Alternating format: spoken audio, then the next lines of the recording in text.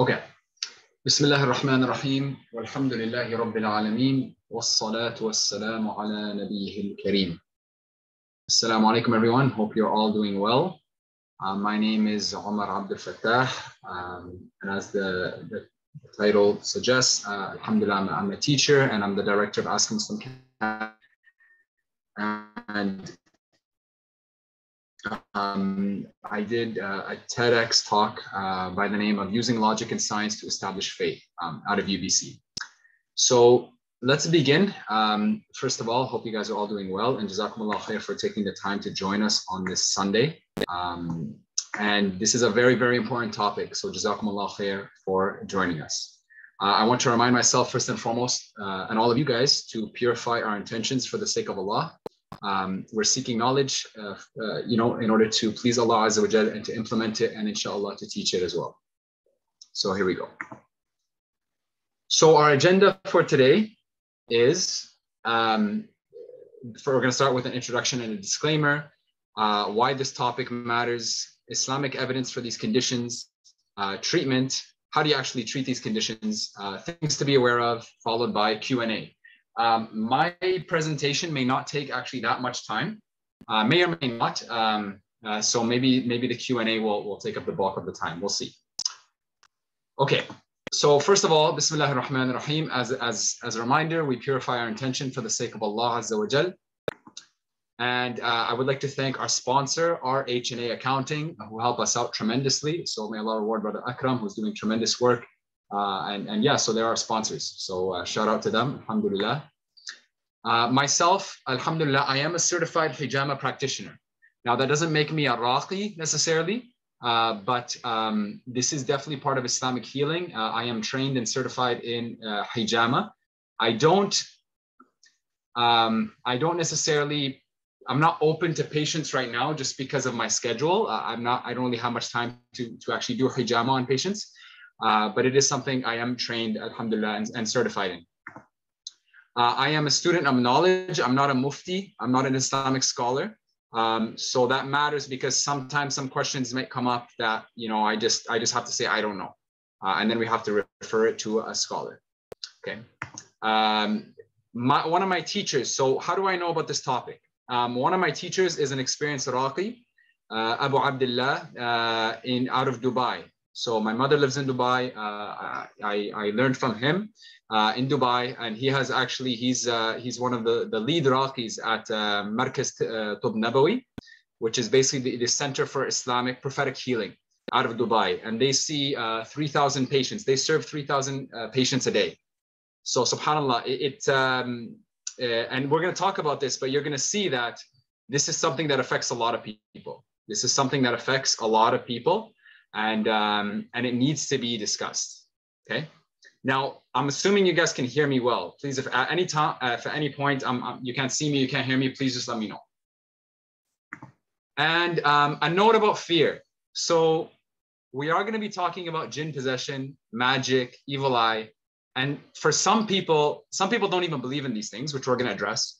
And some people are really scared of these things. So, for example, like jinn possession, is that even real? And oh my God, what if you saw somebody who uh, who was affected by jinn? What do you do? Um, uh, you know, what's it like? Yes. So, so yes, there is an element of fear, but as Muslims, we shouldn't be scared of these things. We should not be scared of these things. Why? Because the jinn are a creation of Allah. They're a creation of Allah, and some of them are righteous, and some of them are not righteous. So the jinn are a creation of Allah. It's just like seeing a bug on the, on the floor or, you know, like an ant or a snake. Yeah, some animals are scarier than others, but it is often the case where the jinn can actually be more scared of the raqi than the raqi of the jinn. And, and so we'll, we'll discuss this, but basically what I'm trying to say is uh, I don't want people to be scared. As Muslims, we should only fear Allah Azza wa Jal, and we make dua that Allah makes us people who only fear Him and nothing else. Allahumma amin. Okay. Now, why does this topic, why is why does this discussion even matter? Number one, many of our many of our brothers and sisters suffer from these conditions in silence. So many of our brothers and sisters suffer from these conditions, no doubt. I mean, I mean, I know of cases here in, in the lower mainland. Um, uh, you know, this is something that is well known. Um, and uh, and people are suffering, whether it's magic, evil eye, uh, jinn possession, people suffer. So we need to discuss this. We need to discuss this. And honestly, this is just kind of the beginning, but I think there should be regular halaqas about these things. Number two, sometimes these things are rejected, neglected, slash misdiagnosed as mental health issues. Okay. So some people, as we've said, they don't even believe in jinn possession, which is foolish if you're a Muslim uh, or if you're anybody, because even non-Muslims believe in jinn possession. Um, so they just reject it. They say, no, this person's just crazy. There's something, a mental health issue. Um, sometimes they they know they believe something's there, but people don't take care of it. They, they don't actually try to address the issue. And sometimes um, a person has jinn, but it's actually diagnosed as, for example, schizophrenia or bipo- uh, bipolar disorder or, or something else. So uh, this is something that is, it's, it's a really a deep field. Um, and it, it, it, like people who do ruqya, I mean, I've met Raqis that their entire profession, their entire life is in ruqya. So it's not like these guys, you know, they work uh, a full-time job and then they do ruqya. No, it's like they're full-time Raqis and they, they really uh, delve deep into this field. And there's a lot of knowledge to be known. And one thing that will come up is, you know, you can't get all of your knowledge and experience of ruqya from the Quran and Sunnah. You can't, because a lot of this stuff is a knowledge of the unseen and it's experiential knowledge, right? Yes, of course, we use the Quran and Sunnah, but the Quran and Sunnah doesn't lay out every single detail about the, about the field of ruqya, right? Uh, in the same way that the Quran and Sunnah might not lay out every single thing about Newton's, uh, you know, uh, or you know, the, the law of, uh, of, gravity, for example, right? So, um, so th- that needs to be said, but we're going to discuss that, inshallah. Okay. Bismillah ar-Rahman ar-Rahim. Is jinn possession real? So first, first thing, and I just want to clarify clarify what I mean by this. What I mean is essentially we are using the Quran and Sunnah, but what I'm saying is some of the knowledge that Raqis are exposed to is not something that's explicitly mentioned in the Quran and Sunnah. I just want to make that clear, right? Because it's a very deep field and people learn by doing ruqya, right? And by seeing different cases, okay? That's what I mean by that. Now, is jinn possession real? Yes. What is the evidence for this? Okay, from the Quran first and foremost, أعوذ بالله من الشيطان الرجيم بسم الله الرحمن الرحيم الذين يأكلون الربا لا يقومون إلا كما يقوم الذي يتخبطه الشيطان من المس those who devour or eat riba will not stand on the day of resurrection except like the standing of a person beaten by shaitan, leading him to insanity. And specifically the word um, Mess means the affliction of a shaitan, jinn possession. Okay? So the word mess is used um, uh, for, for uh, in this case, and mess is commonly referred to as jinn possession. Okay, so this is one of the clear evidences from the from the Quran that jinn possession exists. Scholarly consensus, there's there's ijma on the fact that jinn possession exists. And I want to make something very clear. Non-Muslims also believe in jinn possession. Virtually every religion, from what I understand, believes that spirits or something can actually possess an individual. Okay? They might refer to it as spirits or something else, right? Christians and Jews refer to it as uh, uh, they refer to it as devils, right? We we refer to it as jinn because sometimes, actually, believe it or not, sometimes a believing jinn can actually possess somebody. Sometimes a Muslim jinn can possess somebody, and there's different ways of dealing with that. So, um, regarding this, um, as I've said, many religions, many religions believe in this. Many religions believe in this, and and I want to say so. Uh, general questions, we'll leave them to the end if you have any anything that's unclear, please just ask me right away. So if if anything's unclear, didn't make sense, please just uh, just interrupt me, put your hand up, or you could just comment or just just unmute yourself and just ask me. So, sorry, what did you mean by that? So just to make sure that you guys are following along. So scholarly consensus plus observable cases, and you have evidence from the Sunnah. Inna shaytana yajri min ibn Adam majrad dam. So basically, indeed, shaitan flows through Adam like blood flows, right? Dam. Okay. So uh, Satan flows through the blood of Adam, flows through Adam, like human beings, as, as blood flows. Okay. So this is something that is mentioned in the Sunnah. So based off this, yes, we believe in jinn possession, and there is no doubt about it. Okay. Clear that okay. Now magic. Is magic real? Yes. And there are there's so much evidence from the Quran and Sunnah regarding magic. One of them is uh, verse 102 in Surah Al-Baqarah. واتبعوا ما تتلو الشياطين على ملك سليمان وما كفر سليمان ولكن الشياطين كفروا يعلمون الناس السحر يعلمون الناس السحر so clearly it mentions that they taught the people magic. This is about the, the angels in Babylon at the time of Solomon, how there were people basically, uh, people who were learning magic. And the angels would teach them this and they'd say, we are a trial for you, do not disbelieve. Okay. So uh, this is clearly mentioned that it is magic. And uh, the word sahir is also mentioned in the Quran. They, they say, for example, how, how they called Prophet Muhammad sallallahu alaihi wasallam a sahir, a magician. When Musa alayhi salam, uh, he met the, the magicians at the time of Pharaoh, right? قال موسى ما جئت ما جئتم به السحر. Musa said, what you came with is magic. What you came with is magic. So magic is something that is mentioned clearly in the Quran, clearly. And in the Sunnah as well, because it affected Prophet Muhammad sallallahu alaihi wasallam himself.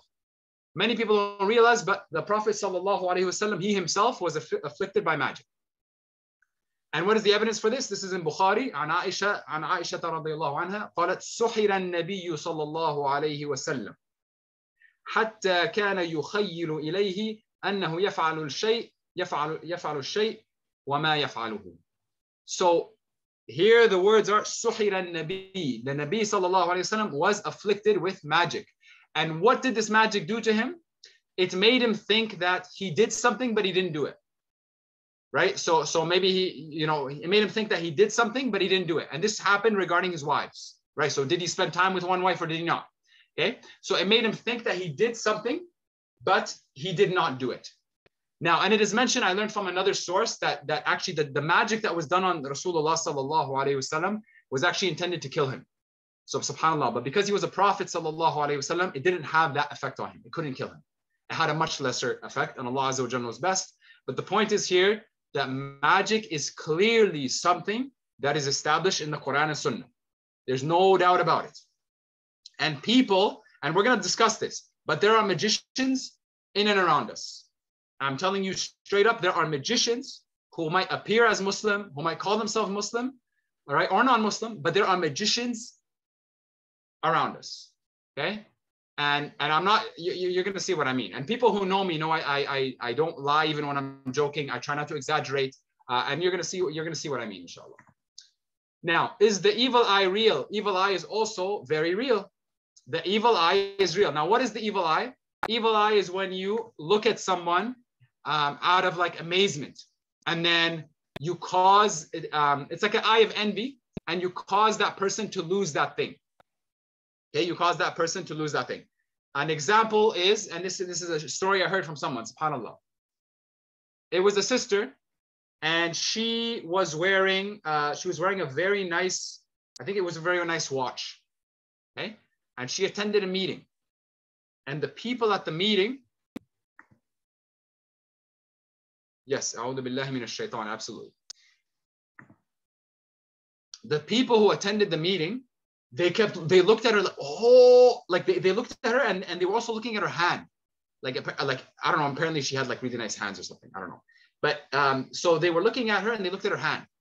And subhanallah this is what this is what the sister actually told me. Within a number of hours we're not talking days within like three or four hours she ended up getting into a car accident. And the only thing that was affected was her hand the only thing that was affected was her hand. And I didn't mention it this, but there's also a story in, in the Sunnah how there was a Sahabi bathing and another Sahabi walked by and he was amazed by the beauty of, of this person's body. And because of the evil eye, the person literally dropped into the water. And they brought him before the Prophet and then he explained to them the situation and what to do.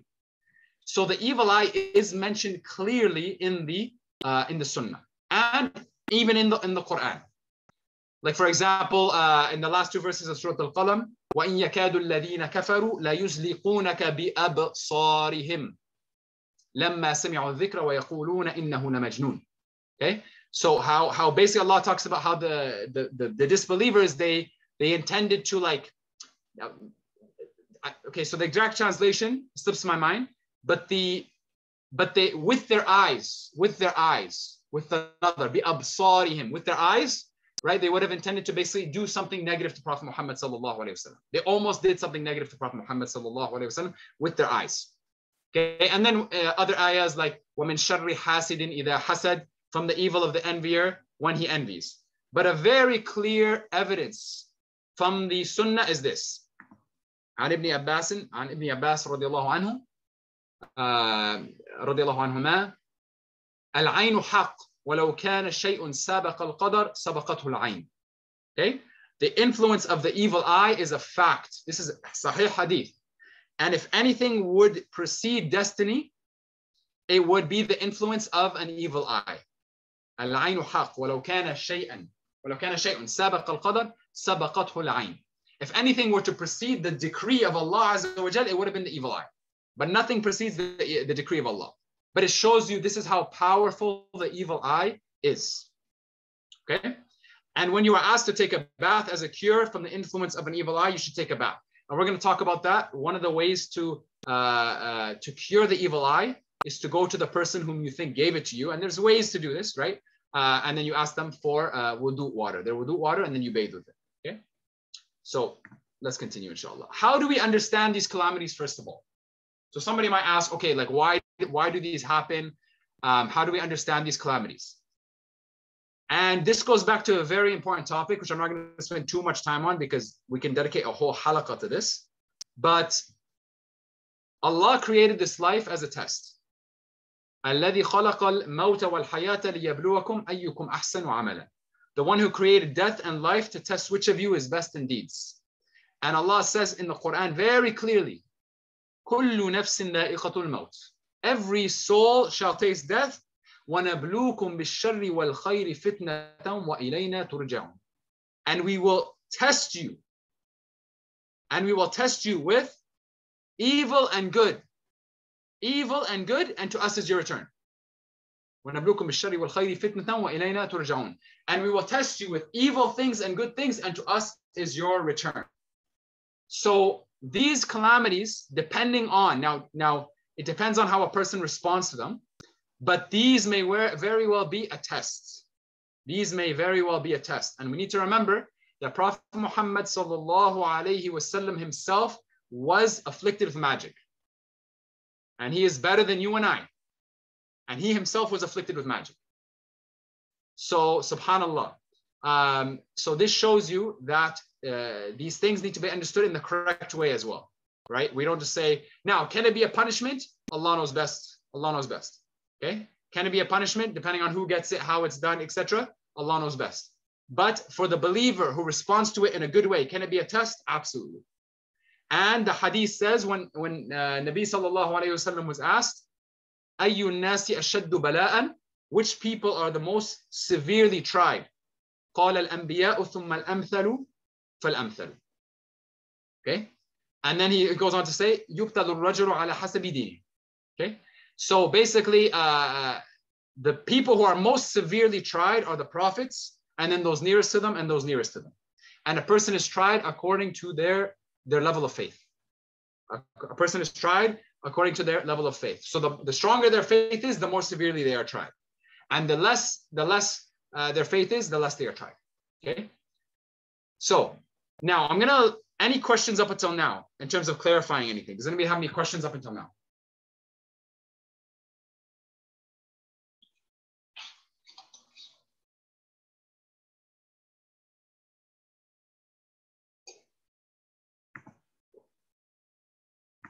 Okay.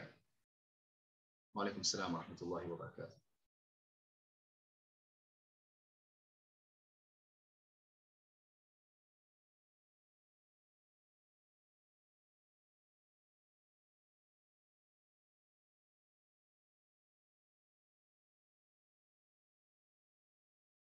Okay, um, excellent questions. I'll answer those. Um, I'll answer because they're more general questions. I'll answer them at the end, inshallah. That's okay. But please, please stay because these are very, very important questions. Okay.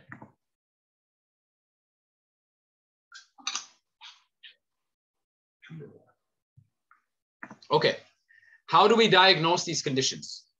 So somebody says, you know I think I might be affected by jinn. I think I might be affected by uh, by magic uh, or whatever it is. Um, okay, excellent questions. Now, I'm gonna just list these three and we'll discuss them. First of all, first of all, for all these three conditions, okay, for all these three conditions, what Raqis say should be done, what Raqis should be say, what's uh, what Raqis say should be done is this. A person for example, um, okay, let's. I, I heard of this case, for example, a person um, they are affected by jinn, and a person can no longer like uh, open their eyes when it comes to reading the Quran. Okay, literally, they, they you open a mushaf in front of them, they cannot open their eyes. They cannot. Now, before we before we you know say okay, you have jinn or magic or evil eye. What Raqis say is a person should go and get their medical test, their psychological test done. I'm going to say that again, very important.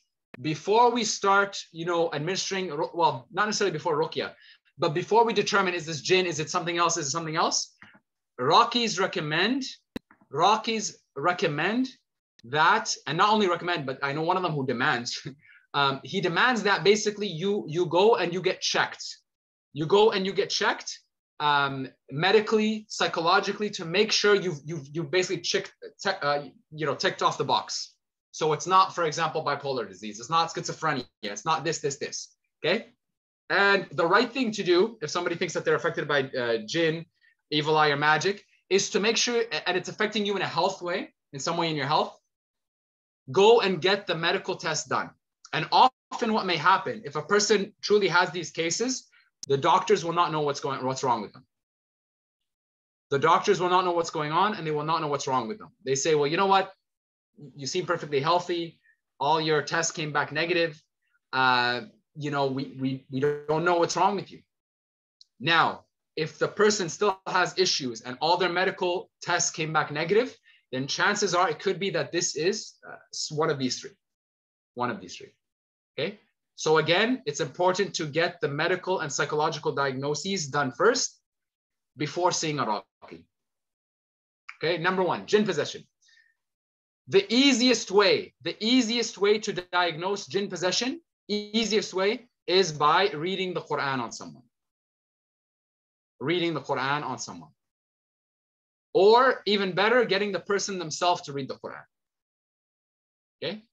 So what does that mean? Okay, so let's say, for example, somebody thinks they're affected by jinn, and um, and okay, if they came to me, I would say, okay, read the Quran and they start reading Surah Al-Fatiha, I would say read, read not just any part of the Quran. I would say read Surah Al-Fatiha, read the Quls, read Ayat al-Kursi. Somebody who's affected by jinn, eventually they're not going to be able to read. Eventually they're not going to be able to read and they're going to react negatively. Some people might start shaking. Some people might start screaming. Some people might, might pass out. Some people might, might do different things. So this is the easiest way to diagnose jinn possession. Read the Quran or have them read it. And if there is a negative reaction, then this could be jinn. This could be jinn. Okay. Evil eye. How do you diagnose evil eye? Evil eye, you get the person to tell you their story. You get the person to tell you their story. So they might say, okay, uh, brother, I was, uh, you know, everything was going well. I was doing really well in school. And then, you know, or I was, you know, I was doing well at work. And then I got this promotion. And then I noticed this one employee was giving me a really like, he started giving me a cold shoulder. And he started like, you know, uh, when I would say salam, he wouldn't return the salam. Or you know he would uh, you know I, I, would do things he'd always try to avoid me. And he was always giving me like a like a like a evil like literally he would always look at me like this or something like that. Now if they tell you their story usually their story can kind of hint at whether they have evil eye or not. It can highlight whether or not they have evil eye or not.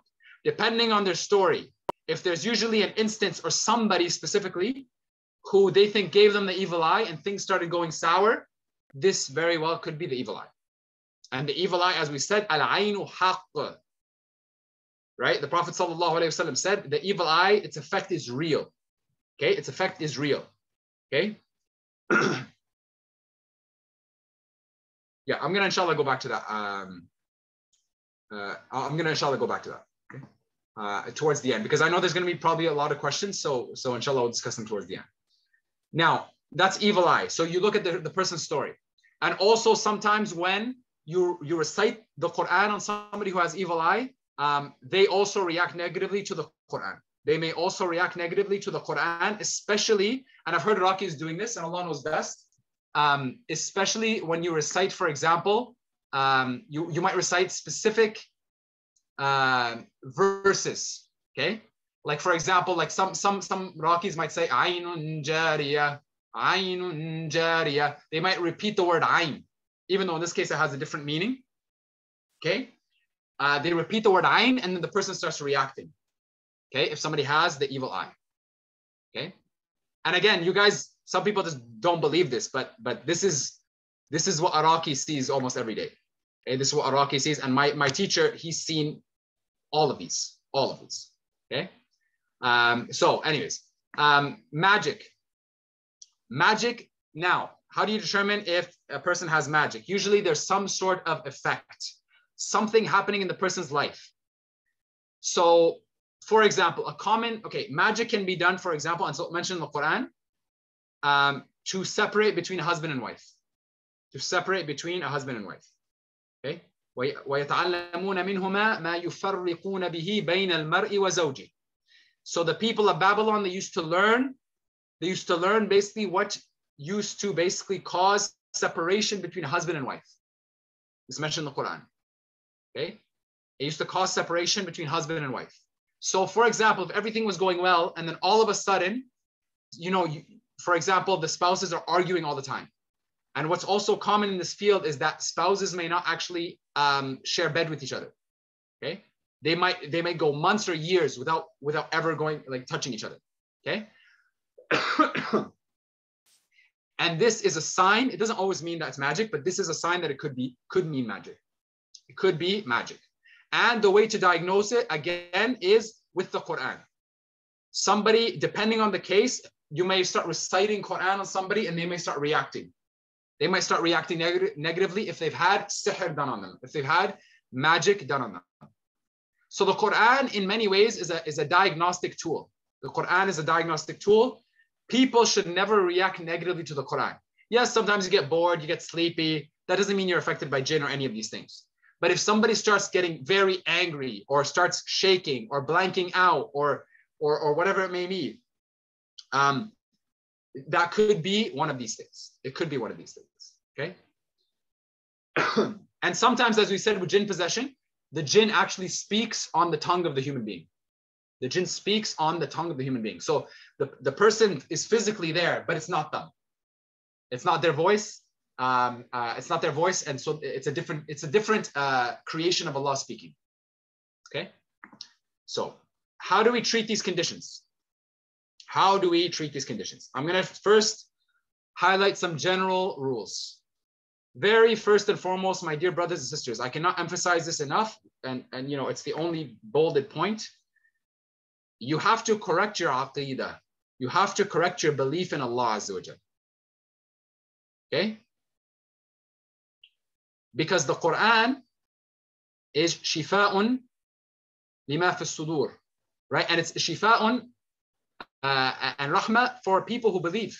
It's for believers. The Quran is shifa, as Allah says, for people who are believers. لِقَوْمِ يُؤْمِنُونَ For people who believe. So number one, you have to correct your aqidah. If you are afflicted with any of these things, you have to say, Ya Allah, this only happened by your will. As Allah Himself says in the Quran, وَمَا هُمْ بِضَارِّينَ بِهِ مِنْ أَحَدٍ إِلَّا بِإِذْنِ اللَّهِ In verse 102 of Surah Al-Baqarah, Allah says, they do not cause any harm to anyone except by the will of Allah. Illa bi'idhnillah. so number one, we have to correct our aqidah and realize this happened by the will of Allah. Allah is able to remove it at any time, right? And He is the Shafi. He is the one who cures. And this is, you know, I, I say this, but this is extremely important because sometimes people come to the Raqi and they say, Ya Raqi, please help me, cure me, cure me. The Raqi cannot cure you. The Raqi cannot cure you. I'm going to say that again. The Raqi cannot cure you, brothers and sisters. The Raqi can only give you advice, nasiha, read Quran on you. He cannot cure you.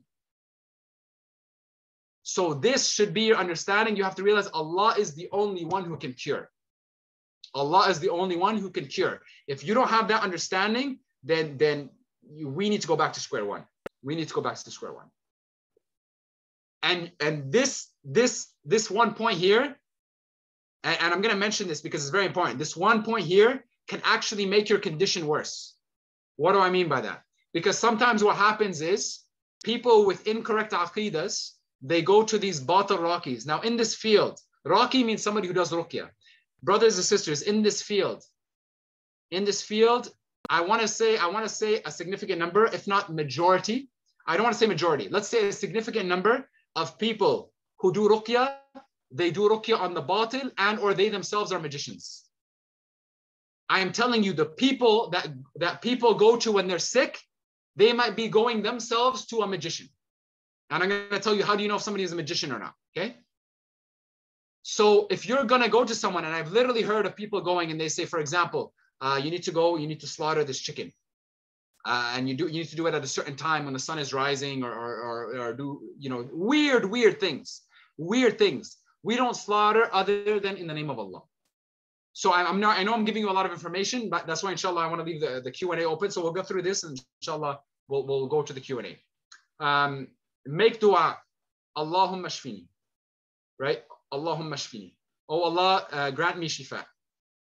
Make dua, and if you can, get up and pray tahajjud. I know now it's hard because, you know, uh, depending on your sleep schedule, Isha is late and Fajr is early. But if you're able to, get up 15 minutes, pray two rak'ahs, uh, before Fajr comes in and say, Oh Allah, cure me. And there are specific du'as from the Sunnah uh, that a person can say. Okay, and we will highlight, inshallah, at least at least one of them later on. Now, if if it is evil eye, you ask for wudu water. Okay. Now, the hadith itself mentions, if we go back to it, it says that if you're asked to give wudu water, then you give it. Okay. So what does this mean? Let's say, for example, you were at a gathering Okay, because some people can be very offended if you ask them for wudu water. Hey, I gave you, uh, you gave me evil eye, give me your wudu, right? So you don't do it like that, right? You have to do it in a, in a way with wisdom. Uh, yes, uh, it is being recorded. You'll have a recording later on. So, um, uh, so you have to do it with wisdom. So you go to here's here's an example that I've heard. Okay, from somebody who actually does ruqya. Let's say, for example, you're at a gathering in the masjid and you know who was there. Let's say there were you know six, seven people, for example could have been more, could have been less. and um, after that day, you started, you know, things went south. And sometimes with evil eye, you can literally see a sign on someone's face. And this is mentioned in a hadith, right? Um, how sometimes the evil eye, you can literally see signs of the evil eye on someone's face. You know that they've been affected by evil eye. Now, if so, let's say you go to these five, six brothers, you know, after this time that you were with them, things started going sour. They started going south. So you would go to the brothers and say, brothers, uh, you know, please forgive me. I don't want to offend any of you, but but since that last time we were here, you know, I um, I felt like something was really affecting me, and I'm not I'm not accusing you any of you brothers for giving me ayn, but I would just ask if you could, for the sake of Allah, if you could just make your wudu water, so I can just uh, if you could make wudu, if I could have your water, so I could purify myself with it. Okay, so that's one thing you can do. Um, one thing that scholars say, another thing that a person can do now if you know that a person's going to react, if you know, for example, who did it, let's say it's not a group of people, you know, it's one person, but you know, if you went up to them, it could make things a lot worse. And, you know, some people you just can't ask wudu order for, for example. I would still say try to do it. And if they don't, that's between them and Allah. Okay. Now they may not do it. It may lead to more problems. If you think it's going to lead to more problems, I would say consult a scholar first and see what they say. If you think it's going to lead to more problems, you know, consult a scholar first and see what they say. One thing that is mentioned, one thing that is mentioned, and this is not something that's mentioned in the uh, in the Sunnah, but it is something that is tried. It's uh, mujarrab, something that is tried. Is let's say, for example, the person won't give you their their wudu water. You tried, and they won't give it to you. So another thing you do is, let's say you're you're for example at a gathering, you would take, and I know with COVID this seems kind of like people would do this necessarily right now, but um, you would go and take their utensils. They were at a gathering, you take their plate, spoon, fork, whatever. You would dip it into water and you would take a bath with that. Okay. And that is in a case of somebody who doesn't give you their wudu water. And this has been tried and it has been proven successful. This has been tried and it has been proven successful. Okay. Now, if evil eye and can get wudu water, then you do ruqya. If you can't do either of that, then you do ruqya, and we're going to talk about what exactly you read afterwards. Okay? And ruqya means reciting Quran, Sunnah, uh, and doesn't just have to be Quran and Sunnah, but, but we'll discuss that, inshallah. Now, if magic and you know where it is, then the magic should be destroyed. If magic and you know where it is, then the magic should be destroyed. And there are ways to destroy magic, but for the sake of not, you know, I don't want to, you could do a whole session on just how to destroy magic. So what I would say is if you actually know where the magic is, then consult a trusted scholar and, and, and seek their advice regarding how to destroy it. If magic and don't know where it is, do ruqya. Okay. And we're going to talk about what exactly to read. If jinn possession, you do ruqya. You do ruqya. Now, something I want to I want to say regarding these three conditions. I'm just going to go back here. Now, these three conditions. Sometimes, okay, so first of all, sometimes the, the evil eye can be associated with a jinn. So what I'm trying to say is sometimes a person can have evil eye and jinn possession. A person could have magic and jinn possession, and the, and the jinn can be associated with the magic. Okay, the jinn can be associated with the magic. And sometimes a person can only have jinn possession and not evil eye and magic. And sometimes, you know, people even say that a jinn can give somebody evil eye. Okay, a jinn can give somebody evil eye. Okay, so again, this is a, a this is a, a very very detailed field, and um, and I'm just highlighting this because sometimes these factors can be associated with each other. So somebody could, could get an evil eye that is so severe that it's associated or it's attached to a jinn and the jinn affects the person. So he becomes like a servant of the evil eye. The jinn becomes a servant of the evil eye. Okay?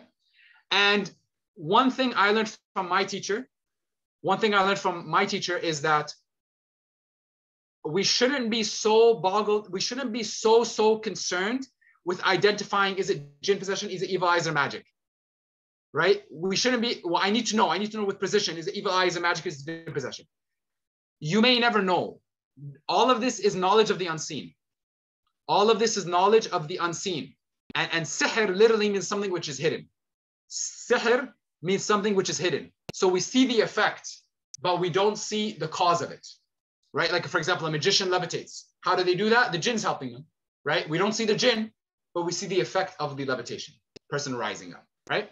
So my point is sometimes we don't need to be, and not sometimes, but we shouldn't be so focused on is it jinn, is it evil eyes and magic? The cure is the same. The cure, generally speaking, right? Well, except for those things that I mentioned about doing wudu water and stuff like that. Um, uh, but the Quran is the cure. Not the Quran is the cure, but the Quran is the means by which Allah may grant shifa if He wills. Right? And He says that the Quran is shifa. Okay? So that's something we need to understand. Okay. Is it magic always associated with jinn? Uh, not necessarily, no. Sometimes the magic can just have, um, and I'm going to inshallah go to these questions uh, at the end, but sometimes the magic can just have like an effect on someone. For example, where a husband doesn't approach um, a husband. Now, I have to be careful because, yes, so when somebody is doing magic, then yes, they're using jinn, usually. Yes, they are. Right. But sometimes what, what I mean is that the jinn may not be very obvious.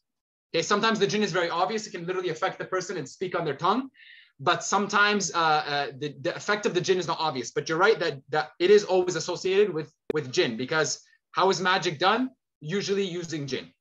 Okay. And we're going to talk about, you know, uh, what exactly, how, how these magicians use the jinn and what they have to do to use the jinn, etc., etc., etc. So I hope that clarifies that. Okay. Now, how do we treat these conditions? We said these things. If jinn possession ruqya, always, always correct your intention when you are reading the Quran on someone, you don't um, you don't think, okay, well, me reading the Quran right now is going to cure them person. No, it's Allah who cures, and the Quran and the Quran is the means by which Allah cures. Okay, it's like for example, Tylenol, or a, a, better example is like uh, people who have cancer. Um, you know, they take uh, they do they undergo chemotherapy, and you know the chemotherapy itself is not the shifa because sometimes it doesn't, the, the pills themselves sometimes don't cure the person, right? The shifa is by the will of Allah. Allah puts shifa in certain things, and we are encouraged to seek shifa, but these things are not the shafi. These are not the, the things that cause the, the cure, right? It's Allah Azza wa Jal who puts the cure in these things. This is the correct aqidah, the correct understanding to have in somebody who is sick. Okay. Now, what do I read? Do general rules, some general rules. Okay. What you do must not contain shirk or kufr, obviously. Now, I say this, but I need to be, I need to emphasize this a lot. Many of the people that, many of the, um, many of the Raqis that people go to, they themselves use jinn and they themselves might be magicians. Many of the Raqis that people go to, they themselves might be magicians and they themselves might do might be doing shirk or kufr. Now, what oh, brother Omar, how can you say that? Okay. My teacher, he has over 15 years of experience and he's traveled the world. Okay. And and he's traveled and he's been to places like Pakistan and other places. And and he basically tells me this is he, he's seen it all. He's done it all, he's tried it, and he's seen it. Okay. And what happens sometimes is a person goes to a, a magician, a person goes to a Raqi, and then the magician, or the Raqi, sorry, and sometimes they are the same. The Raqi says, before even speaking about the person, before even looking at their case, the Raqi says, What is your mother's maiden name? And you, some of you might be shocked. Some of what? Yes, they say, What is your mother's maiden name? What's your mother's last name? Before they even you know, analyze your situation before they ask you when did it happen, what what are the symptoms. They say, what is your mother's maiden name?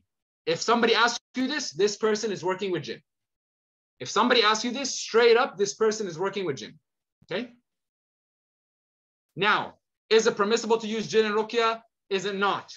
This is where there are and, and, there are different opinions here.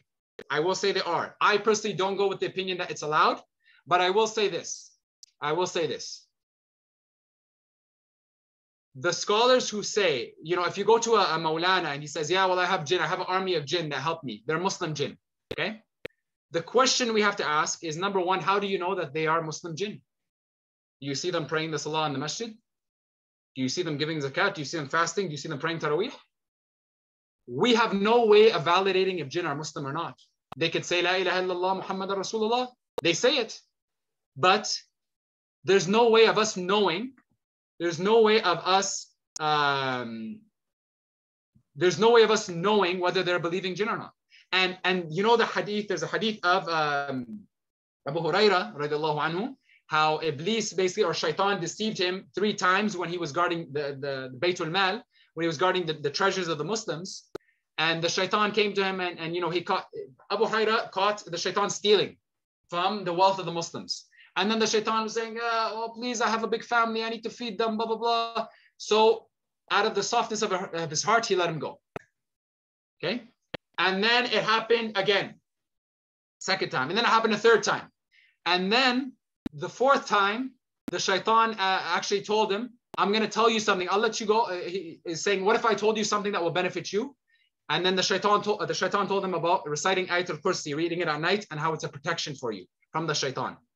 And then when he went to Prophet Muhammad sallallahu alaihi wasallam, Prophet Muhammad sallallahu alaihi wasallam told him, he has he has told you the truth about the Ayatul Kursi, and he is a liar, though he is a liar.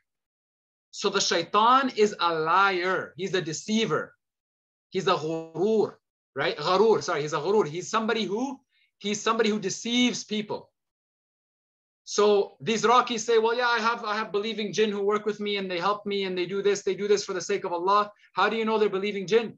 And what are you doing? What are you doing to get these jinn to work for you?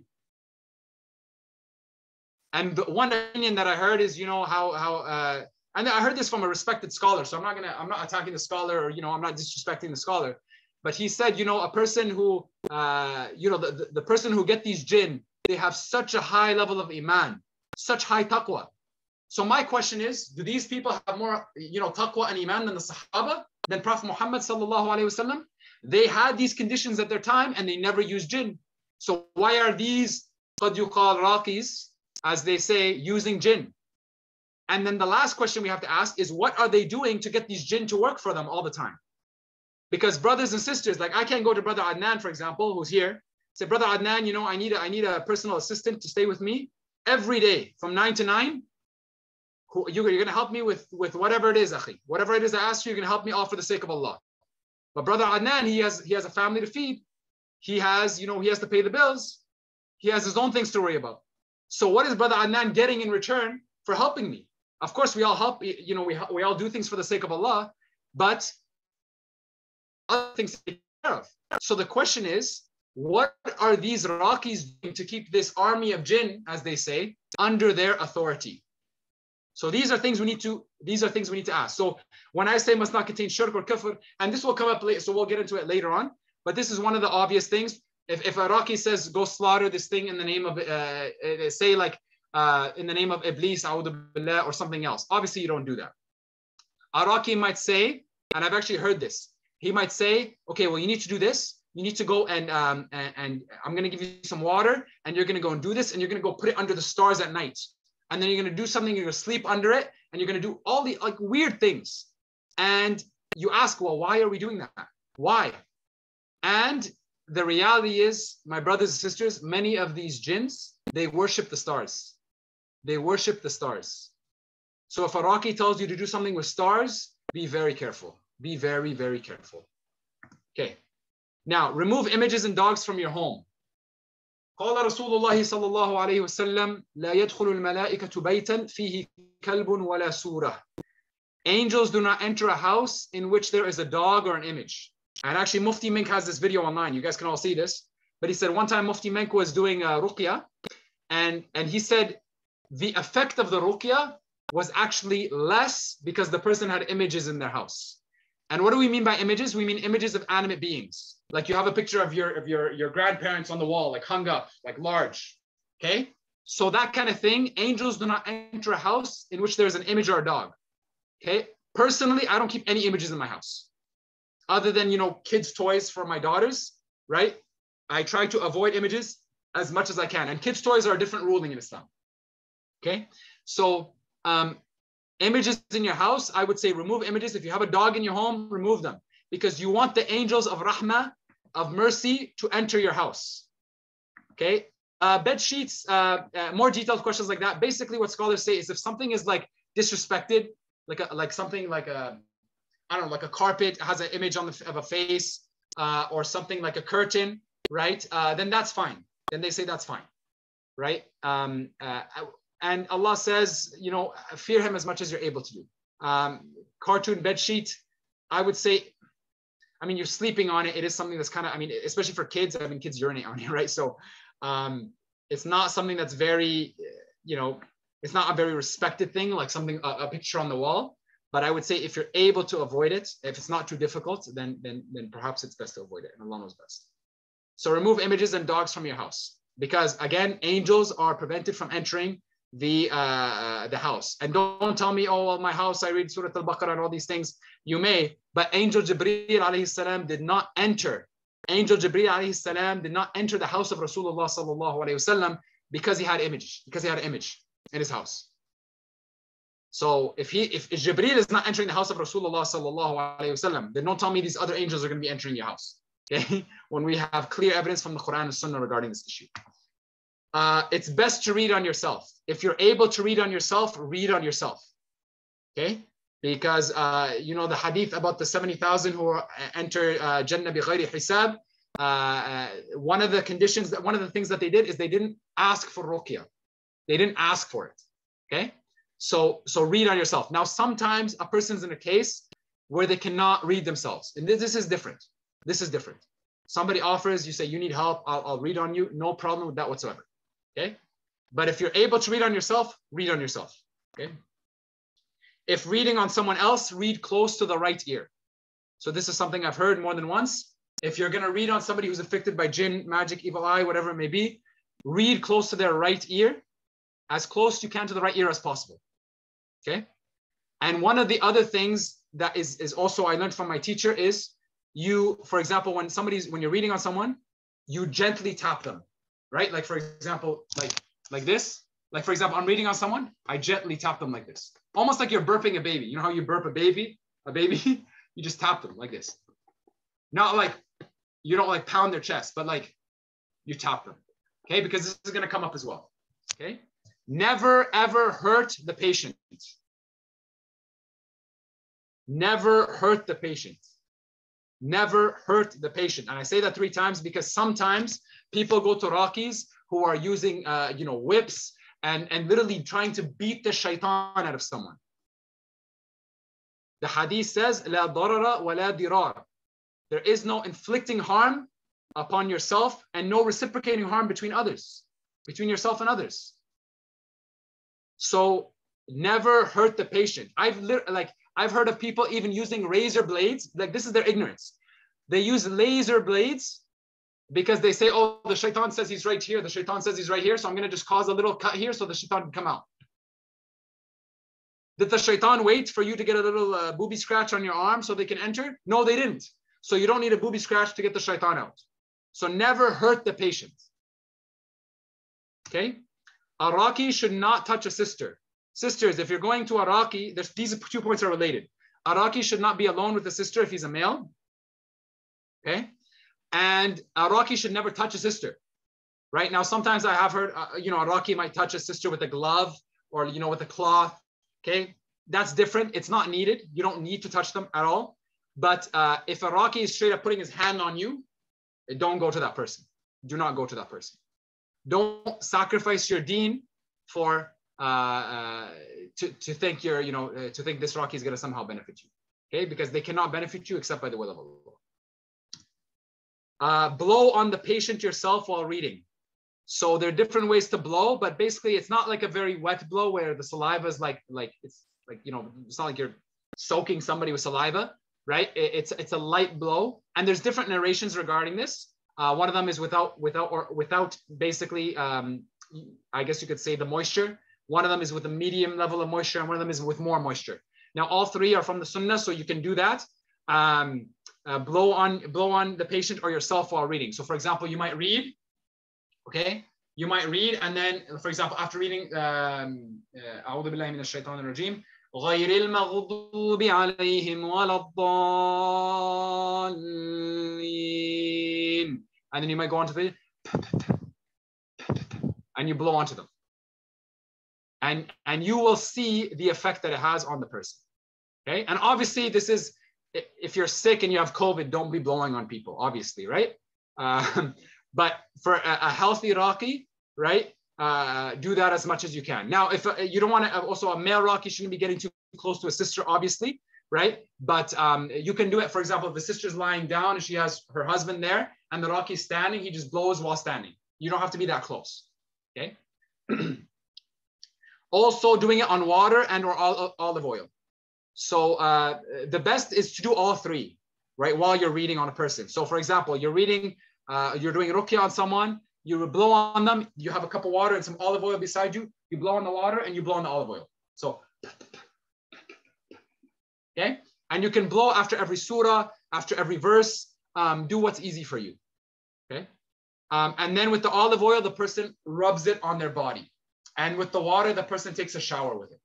Okay. Now, the question of can you, uh, now, water that has been recited upon and you take a shower in the bath, can you let that water go down the drain? This is also one where there's difference of opinions. Um, I've heard I've heard two different opinions. One of them is saying no, gather it and throw it out in, in you know a place where people don't walk. Another one is that it is okay. So whichever opinion you go with, uh, it is backed by reputable scholars and Allah Azza wa best. Now, a note on tawiz. Of course, you can just drink. Uh, oh, after you shower with it, I, I don't know if I would do that for hygienic reasons. I wouldn't. I don't know if I would shower. Um, I, I wouldn't drink the water after you shower.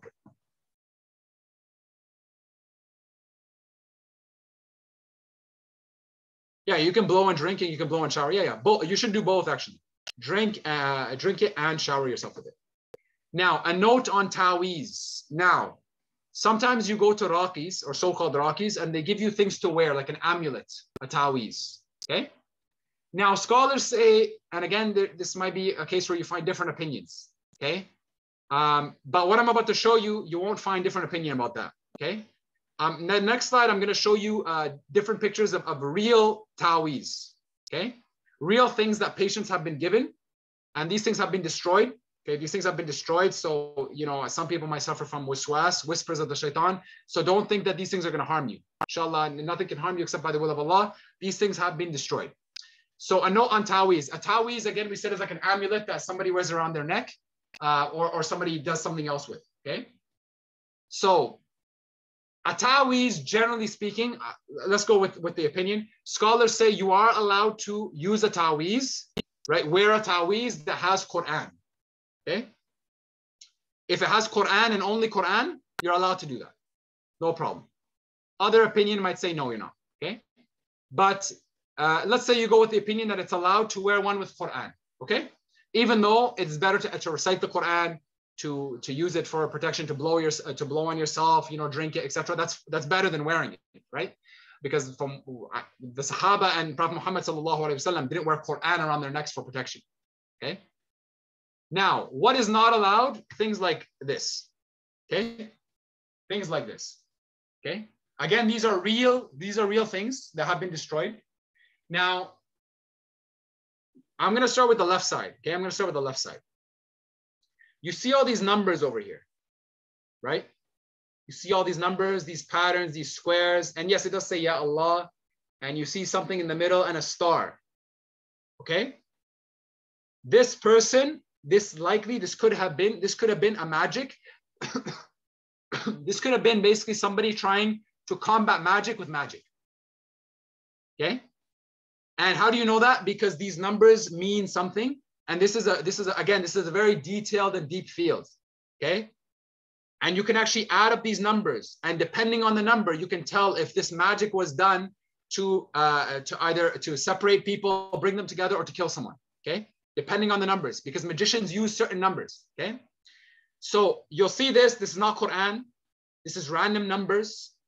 What do these numbers mean? Allah knows best. And you see, Ya Allah, Ya Allah, Ya Allah, and you see that these numbers. Now, magicians use numbers to do magic. Magicians use numbers to do magic. Magicians use numbers to do magic. Yes, I repeat things three times sometimes because it's really important. So this is not a tawiz that you should be wearing. If you're wearing this, then this could actually be preventing the shifa from coming down upon you. This could be preventing the shifa from coming down upon you from Allah. This middle one right here looks like absolute gibberish okay? But it does have a meaning. You see how there's kind of like a star in the middle, okay? And again, remember I told you a lot of these jinn, they worship stars. And this person, what they were asked to do, this person was asked to basically take these, cut them, put them under their pillow, and do something with them. So you see very, very weird, weird things. Okay? And you see it's not Quran, it's not Sunnah. What is this? And this one right here in the top uh, right, you see Bismillah and you see that letter, whatever that letter is, is it ha? And you see Hamza, Hamza, Hamza, waw, waw, and then this, this. This is how magicians do magic. And you see these lines and these scribbles. This person was taught, this person was told to, this is Zafran actually, this was written in Zafran. So this person was told to uh, put this in water, dip it in water, and then drink this.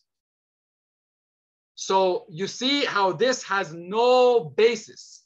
This is what is this? Random letters and saying, yes, it does say Bismillah ar-Rahman ar-Rahim, but you have to be careful because sometimes a tawiz might specifically say Bismillah ar-Rahman ar-Rahim and then do shirk in the same tawiz, like calling upon, uh, uh, like for example, one of the one of the jinn, they might say yeah yeah Iblis or yeah something like that. It might use one of the names of the jinn, right? So you have to be very very careful.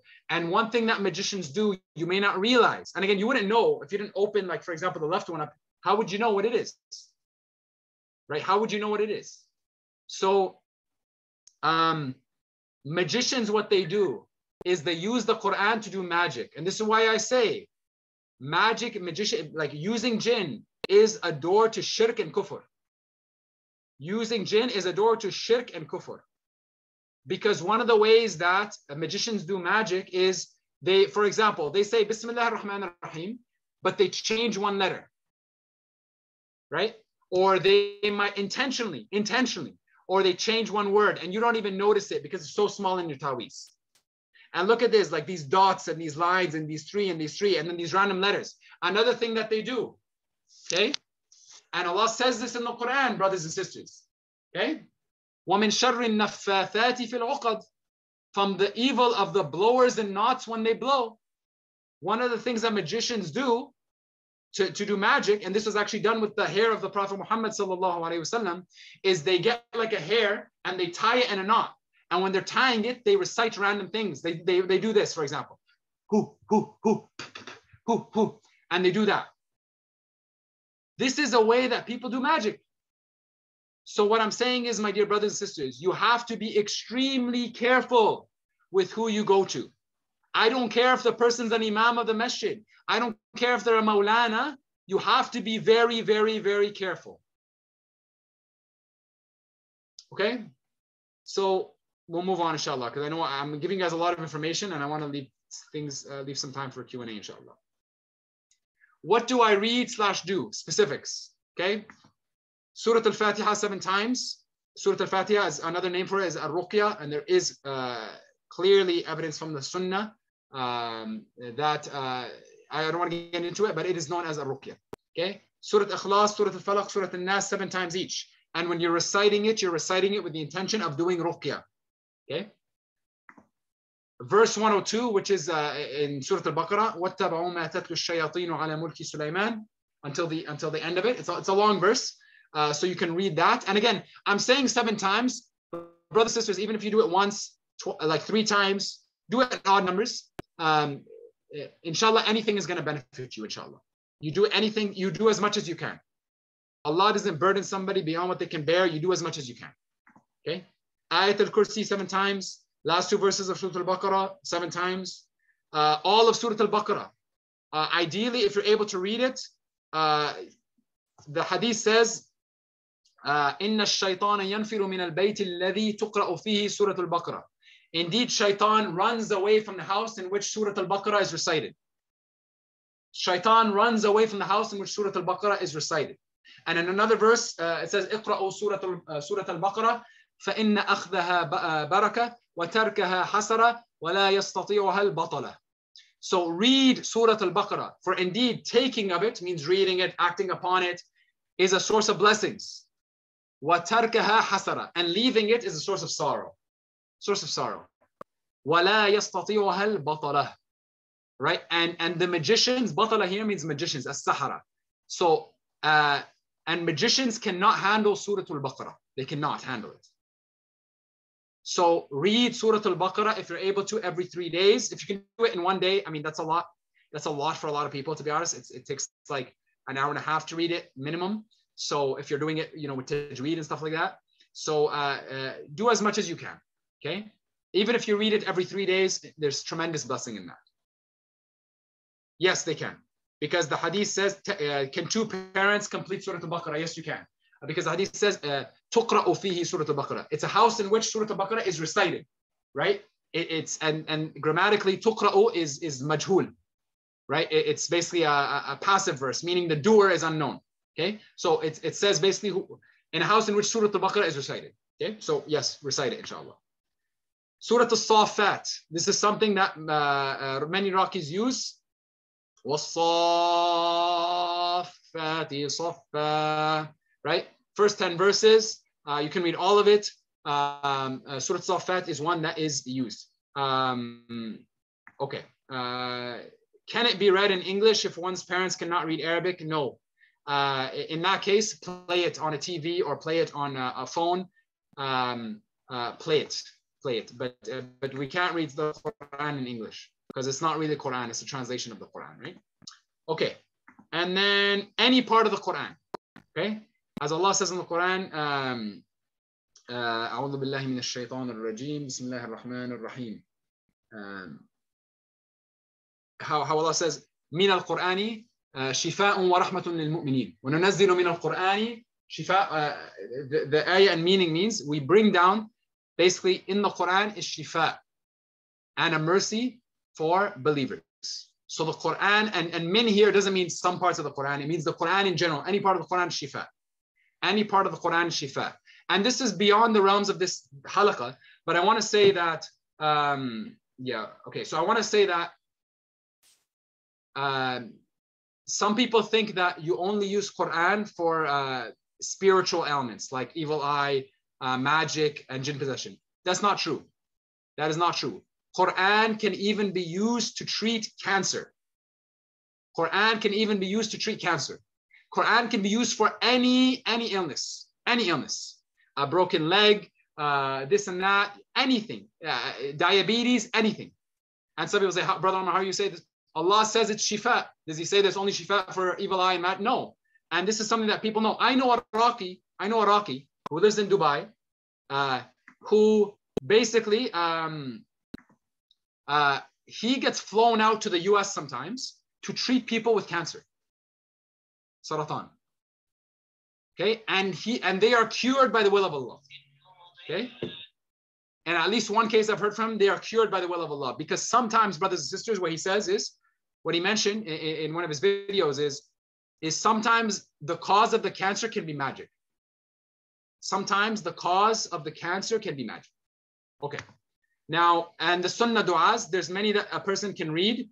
Um, uh, for example, um, بسم الله أرقيك من كل شيء يؤذيك من شر كل نفس or بسم الله أرقيك من كل شيء يؤذيك من شر كل نفس أو عين حاسد الله يشفيك بسم الله أرقيك بسم الله أرقيك okay so uh, any dua and, and you can change the pronoun according to the person uh, whether they're male or female um, but but essentially there are a bunch of sunnah duas now you can just look up you can just if you have like Islam um, Islamic Finder or Muslim Pro I believe they have a section for du'as for when a person's sick. So if you go on them, as long as the dua is, is authentic, read it. Read it. And you don't even need to use sunnah du'as when you're doing ruqya. You can say anything. Oh Allah, cure this person. Oh Allah. Oh, oh Ya Rahman, Ya Rahim. It doesn't have to be a sunnah dua. Ruqya is not something that's mashru'. It means it's not something that's legislated. It means you have to do it like this. It's not like salah where you have to pray salah a certain way. Ruqya, you can do it in different ways. Maybe you want to read this part first, read that part later. But ruqya should not contain any form, any shirk or kufr, obviously. Okay. Now, um, how to protect yourself? Obviously, do all your obligations. For men, pray your salah in your masjid if you can. Uh, morning and evening athkars, uh, the, the, morning and evening remembrances, uh, the three quls especially. And this is, I think, our last slide. Okay. Uh, read Qul huwallahu ahad, Qul a'udhu bi rabbil falaq, Qul a'udhu bi rabbil nas, three times each in the morning, three times each in the evening. I like to do it after Fajr and after Asr so I don't forget. Okay. Uh, maintain tahara. Uh, don't don't stay in a state of you know like don't be filthy. Obviously, keep your clothes clean. Uh, as Allah Himself says, "Warujsa fahjur," right? So keep your clothing clean. Um, uh, and so so obvious things, right? Um, uh, because one of the things, brothers and sisters, one of the ways that magicians uh, get closer to shaitan is by uh, uh keeping themselves filthy and literally, literally sitting in their own filth, literally. So uh, make sure your tahara is intact. Remembering Allah often, always remember Allah. And I want to say something very clear. I think I, I mentioned this um, afterwards. Um, when you enter your house, brothers and sisters, and, and I'm saying a lot of things I'm saying are very important, but all of these things are very important, honestly. When you enter your house, enter with your right foot, say Bismillah. Because if you don't, if you don't, can anybody tell me what happens? If you don't enter with your, if you don't enter while saying Bismillah, what happens to your house? Based off of the Sunnah Hadith, based off of authentic Hadith, what happens?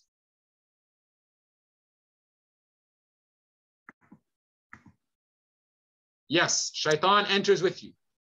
Shaitan, not only shaitan, but he says, come to his homies. We found a place, we found a place to spend the night. Okay? So when you enter, and, and honestly, even when I have guests over, you know what I say? Even when I have guests over, I say, like it depends on who, who it is, right? If somebody I'm very close to, I say, say Bismillah when you enter. Okay. So because I don't want people shayateen entering my house, to be honest with you. Okay. I don't want any shayateen entering my house. So um, so basically enter and say Bismillah. When you eat, also say Bismillah. If you don't say Bismillah when you eat, what happens? Same, shaitan. Yes, shaitan says, oh, now shaitan says, come, we found a place to eat. So, brothers and sisters, remembering Allah is very, very important for protecting yourself and your children. Uh, saying Allahumma zid wa barik. Okay. When we see somebody, so how do you protect yourself from the evil eye and protect others? So this is how you protect yourself. And I also want you guys to protect other people because sometimes, sometimes you can actually give somebody else the evil eye without intending to. The evil eye is not something that has to be given intentionally. And the evil eye is not necessarily, and this is a discussion among scholars, um, but one opinion is that it doesn't even have to accompany uh, envy. So what does that mean? So you can actually be amazed by something that somebody has, but not be envious of it. So for example, your friend gets a brand new Tesla and you're like, oh, bro. And you just, you don't mention Allah. You just, you're shocked. You, you could have just given them the evil eye right there and the Tesla could be gone in a week. So what do you say? What do you say when you see somebody who has something nice you say Allahumma zid wa barik. Some people say MashaAllah. No, that's not enough. If we're talking about the sunnah, that's I don't want to say that's not enough, but that's not what's mentioned in the sunnah. That's a cultural thing. Say MashaAllah. Right? Yes, you say MashaAllah, Tabarakallah, may Allah bless it. Okay? As Allah willed, may Allah bless it. But even better, brothers and sisters, make dua for that person. I teach my kids all the time to do this. Kids I know and don't know. To be if I'm visiting a school and I see a kid telling me, for example, brother Omar, you're like, you're tall. I say, what do you say? I stop them. I literally stop them in the hallway. And I say, what do you say? And I try, and I try, not in a harsh way, but I try to say, I was like, I still want my legs to work, you know, like, what do I say? Uh, uh, what do we say? And then I tell them to say, make dua for me. Allahumma zid wa barik. Oh Allah, increase this person or increase the thing and bless it. Okay, very important, brothers and sisters. You see, your friend just got a new house. Your friend just um, got married, your friend, uh, you know, whatever it is, uh, you know, they got a nice car. Allahumma zid wa barik. Allahumma zid wa barik. You don't want to be the reason why somebody else gets the evil eye. You don't want to be the reason why somebody else gets the evil eye. And jealousy is something that is like a disease. It's literally a disease. So may Allah protect us from this disease. Allahumma ameen. Reading on your children. Uh, read the three quls on your children. Uh, again, Surah Al-Baqarah, if you read that, inshallah, your house is protected and your children as well. Um, uh, what I like to read is uh, on my children is the dua uh, uh, the Prophet Muhammad sallallahu alaihi wasallam used to recite on uh, Hassan al Hussein. He used to say, "U'idukuma bi kalimatillahi tamma min kulli shaytanin wahama wa min kulli aynin lamma." I seek, um, I, I protect both of you. I seek Allah's protection for both of you. Um, min kulli shaytanin from every shaitan and hamma. Um, I don't know how you would how you translate that. Wa min kulli ainin lama, and from every ain. So uh, you see, ain is mentioned, ain, right? Um, uh, so you'll see how the Prophet وسلم, used to seek the protection or used to seek the protection of Allah for his grandchildren. So we should also be seeking the protection of Allah for our children and our grandchildren. Reading Surah Al-Baqarah in the home, as we have said, and entering with the right foot, saying Bismillah, and saying Bismillah before eating, as we have mentioned. Okay, I know I've said a lot there. Any questions? I'm going to go back to the top, and I'm going to address these, inshallah. So, um, and then I'll open it up to any mic questions. Um, okay. Excuse me. Assalamu alaikum. Sorry, I just want to. Just, can you just uh, last uh, last? I want to take pictures. Uh, last uh, page. Yes, the, can you just let us have a look at the last slide? Yes, yes, yes. Yeah, thank you. Jazakallah khairan. No problem. I'll go back and I'll I'll just let me see if I can. Okay. So I'm gonna I'm gonna answer the questions and you can just take a picture. Okay. Um, okay. a lot of questions, and uh, I'm telling you, this this topic I think needs to be discussed regularly uh, because people are affected. Okay, I have three questions and I hope it doesn't come as offensive, no problem. Um, if magic exists, it would have the potential to destroy nations. Why is it that celebrities and political figures haven't been affected since they surely must be prone to it? My question to you uh, uh, is how do you know that celebrities and political figures haven't been um, uh, affected by it? and I'm I do you not have to answer, but the reality is, and this is something that I've heard, I've, I've heard of more than once people in the music industry, they use jinn. I've heard this more than once. People in the music industry use jinn. And we know that, you know, this is some, we know that the, the, the music is a tool of shaitan. So to say that they're not affected by it, right? To say that they're not, uh, uh, you know, to say that, you know, that that's not necessarily true. And the other thing we have to realize is that magic can only cause harm by the will of Allah. Magic can only cause harm by the will of Allah. These people, you know, do these people believe in magic? Many of them do, right? I mean, what is a gypsy, a gypsy historically? I mean, gypsy historically refers to a specific ethnic group, but people associated with witchcraft. And we know in many, in all over Europe, witchcraft, witches were literally burned on the stakes. So um, uh, people believe in magic, uh, not just Muslims, people of other faith. Um, and so to say that it doesn't affect them, I just, or they're not somehow related to, you know, affected by jinn, I just don't think is accurate. Um, so we need to uh, first assess if, if that if that is actually the case. Number two, can magic be done to affect one's faith or lead one to disbelief? Um, not. Can it be? Well, okay. Can magic can can it change your heart to kufr? Right? Only by the will of Allah. Only by the will of Allah. But usually magic, I'm gonna tell you guys, I'm gonna tell you guys three cases I've heard of magic being done for three things. Either to separate a husband, and separate family, separate people amongst each other, separate people. Okay? Or to bring people together. I've literally heard a, a one case of a divorced woman going to a magician uh, to do magic to have uh, her husband and her son back. Okay, and this is obviously something major, major sin. And if I told you what she had to do, Allahu Akbar, Allahu Akbar. Uh, and the last one is to kill someone. So, um, of course, these things that by going through them, they could have an impact on your faith. Um, but um, can it lead somebody to disbelief? Yeah, it can. Um, because uh, again, the magic could be a test, and if the person fails the test, then then then they failed. But so is sickness, so is other things, right? So Allah says, "We will certainly test you with different things." Last question is if someone dies while being afflicted with magic, will they be held accountable in a different way since the magic may have affected their agency? That really depends. Um, a lot of people who are afflicted by magic, they still have control over many aspects of their life. And even people who are afflicted with jinn, they may also still have aspects over, they may also still have control over their life. Um, it really, um, uh, now, and, and like, so there are different levels of jinn possession, right? Some of them are more severe than others.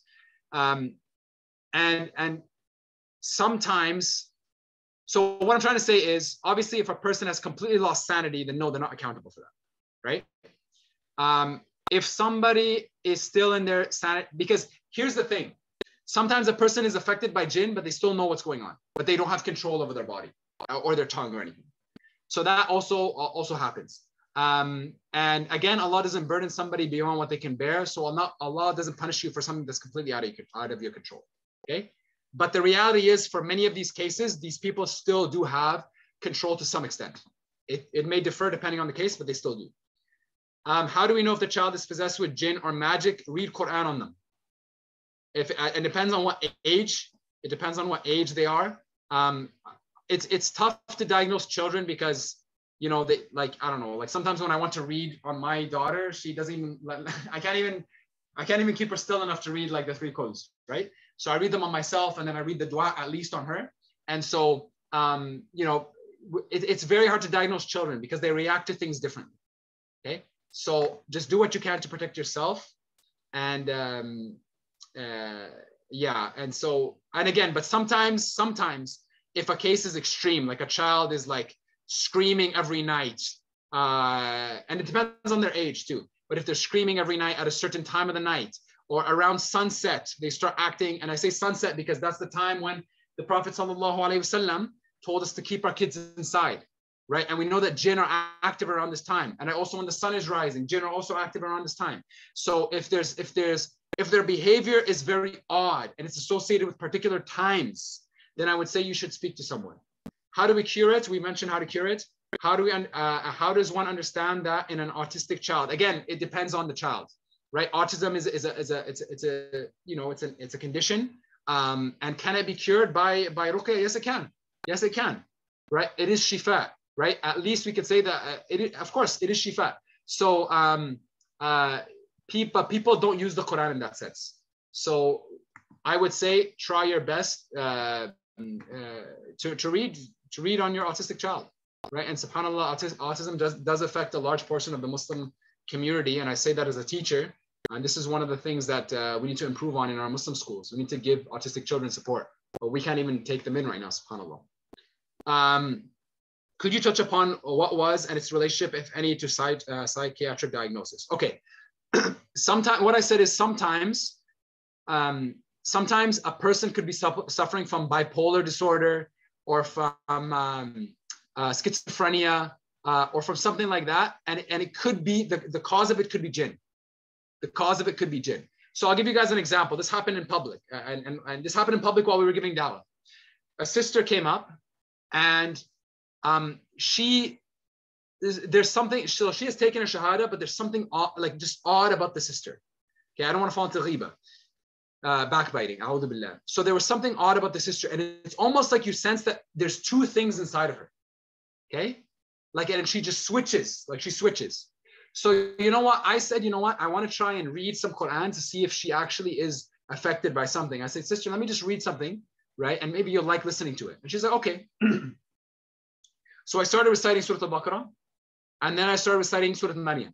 And she, she had a reaction. And she literally, it, it's almost like she went into ruku'ah and she was exhaling something very, it was like she was exhaling. So she was going like this. She did this in front of us. Okay. And then she, it's almost like she snapped back into her senses. But then she went on and then, you know, her situation continued from, from what I saw.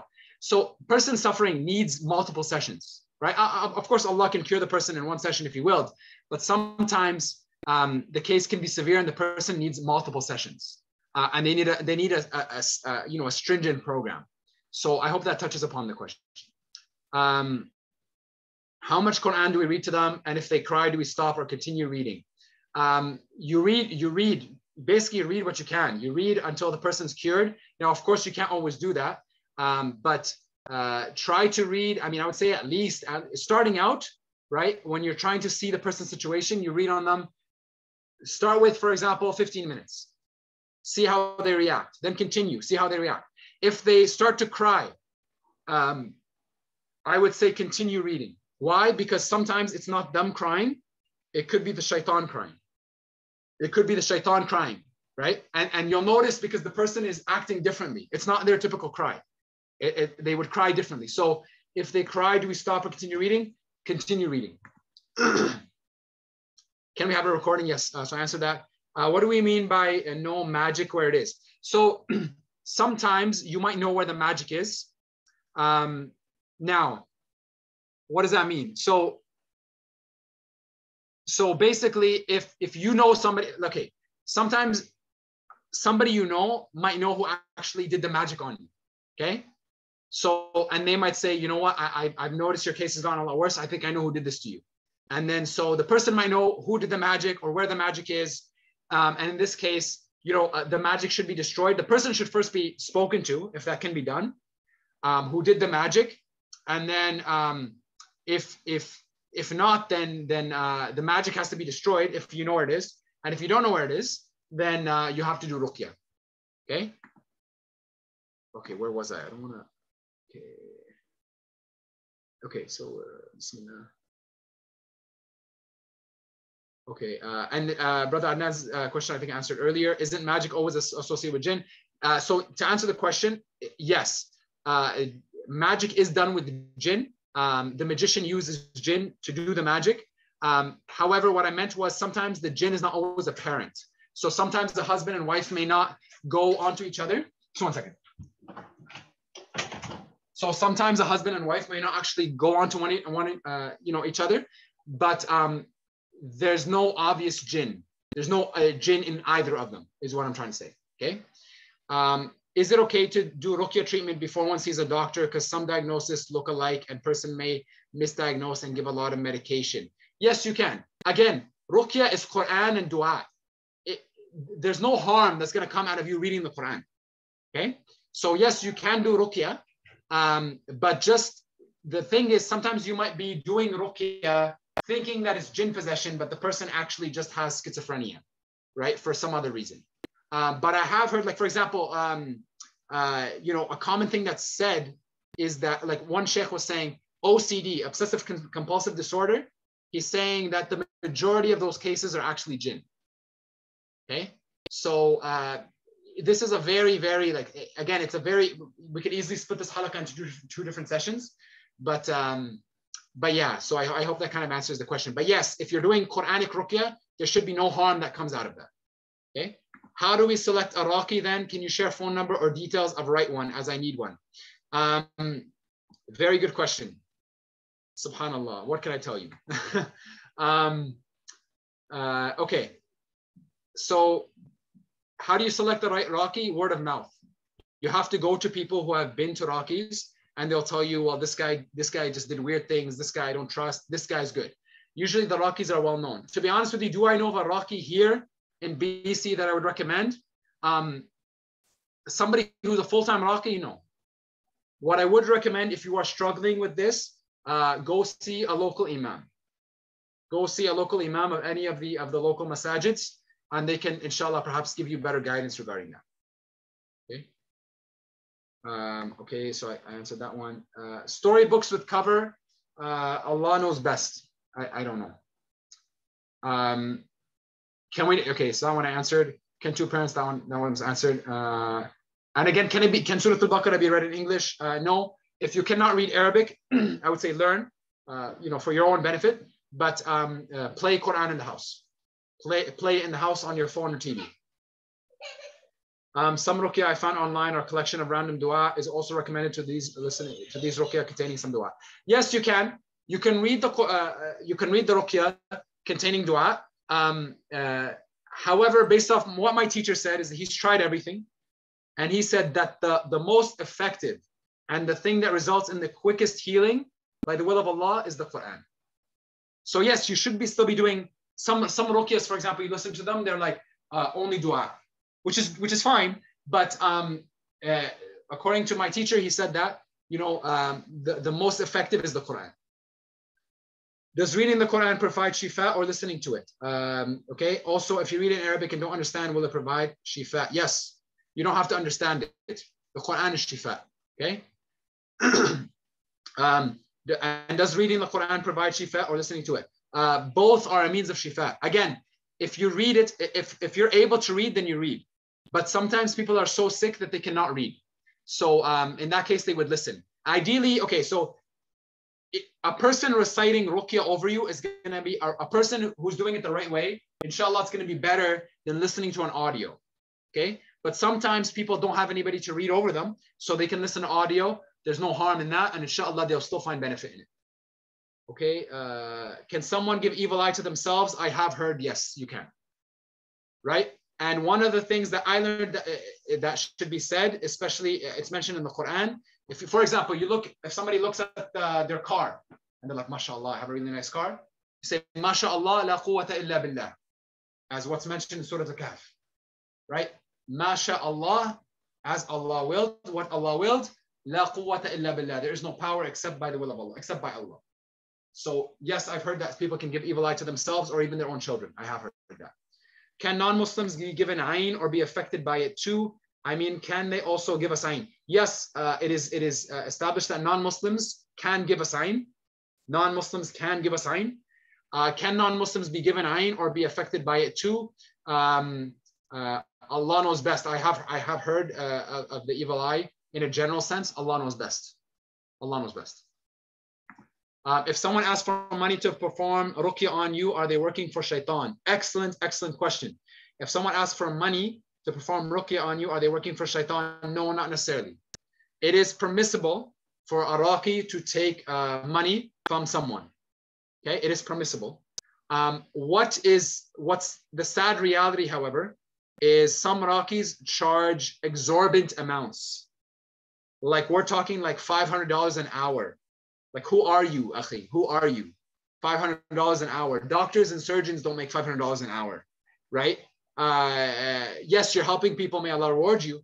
But $500, who can afford $500 an hour, right? So um, uh, it is permissible to, to uh, take money.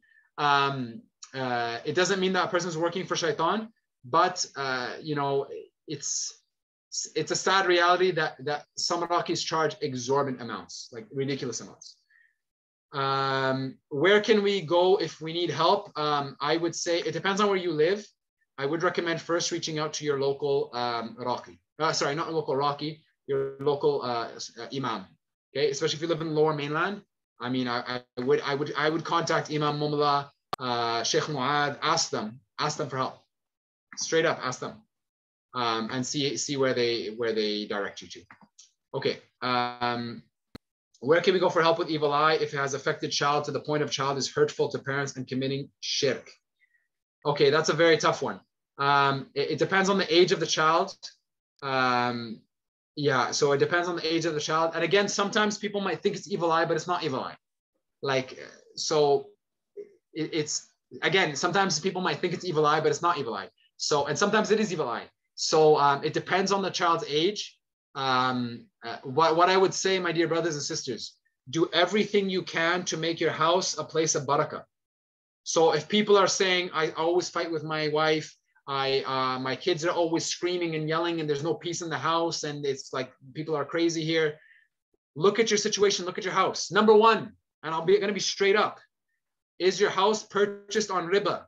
Is your house purchased on interest? If it is, then I'm going to ask you, how can you expect Allah to put barakah in something that's haram? How can you make dua to Allah? Oh Allah, bless my house, bless my family. How are you going to expect that if, if, your, if your living is haram? So number one, are you living on riba? Number two, do you have images in your house? Okay. Number three, do you have a dog in your house? Okay. And if the answer to all this, well, first you got to start with that. Okay. Um, because you want to make sure that your house is a source of, of peace. And also number four, you should be praying some salat in the masjid, sorry, in your house. For men, it's the, the, the sunnah is to pray the farid in the masjid and to pray the sunnah at home. You know, most of our brothers and sisters we see here, they pray the sunnah in the masjid, and, and sometimes it makes sense because it's it's far away from home, or by the time you get home, you could lose your wudu, like all, all these things. Um, but if you're able to pray some of your sunnahs at home, pray some of your sunnahs at home. Uh, somebody asked me, can I see your question? Yes, I could see your question. Um, so that's what I would say first and foremost. Uh, child doesn't want to listen to Quran and stays in bathroom. That's uh, that's a that's a very that's a sign. So spending a lot of time in the bathroom is a sign of jinn possession. Spending a lot of time in the bathroom is a sign of jinn possession. Why? Because shaitan, shayateen, they like filth. And if a shaitan is living in someone, um, uh, they may want to spend that time, they, they may want to spend the time in the washroom. Okay. Um, so uh, in this case, in this case, um, it depends. It depends on the, the situation. Again, the, the Raqi would determine based off understanding the age, the situation, sitting down with the family. They'll determine what to do. Um, but a person like this who who leaves, uh, they can't stand listening to the Quran. They spend uh, a lot of time in the washroom. This person may need to be uh, sat down and read upon. Okay, they need to. They might need to be sat down and read upon. Okay, um, my my child is teen, used to read daily Quran, now doesn't. Again, I, I, I could tell you, uh, brother slash sister, as a high school teacher, uh, teenagers are teenagers are a different type of. they have their challenges, so it's not uh, it's not unusual for a teenager to not you know want to uh, sit down and read the Quran, read their Quran. So uh, it, it's it's quite common. But if they're spending a lot of time in the washroom uh, and and reacting negatively to the Quran, then that's a, that's a big question. Okay. Uh, can someone do ruqya before they see doctor? Yes, yes, they can because again, if a person's reading Quran, they're they're do, reading the Sunnah. Uh, there's no harm in that, right? The Quran doesn't bring harm; it only brings uh, benefit. Okay. Uh, if someone gave evil eye to themselves, do they cure with their own wudu or just do ruqya on themselves? Start with your own wudu if you think you gave it to yourself and then uh, and then see what happens, and then um, and then if you need to do ruqya on yourself. Uh, these days we have home loans from banks, uh, uh, and will that affect the ba the balance of Muslim home too? It may.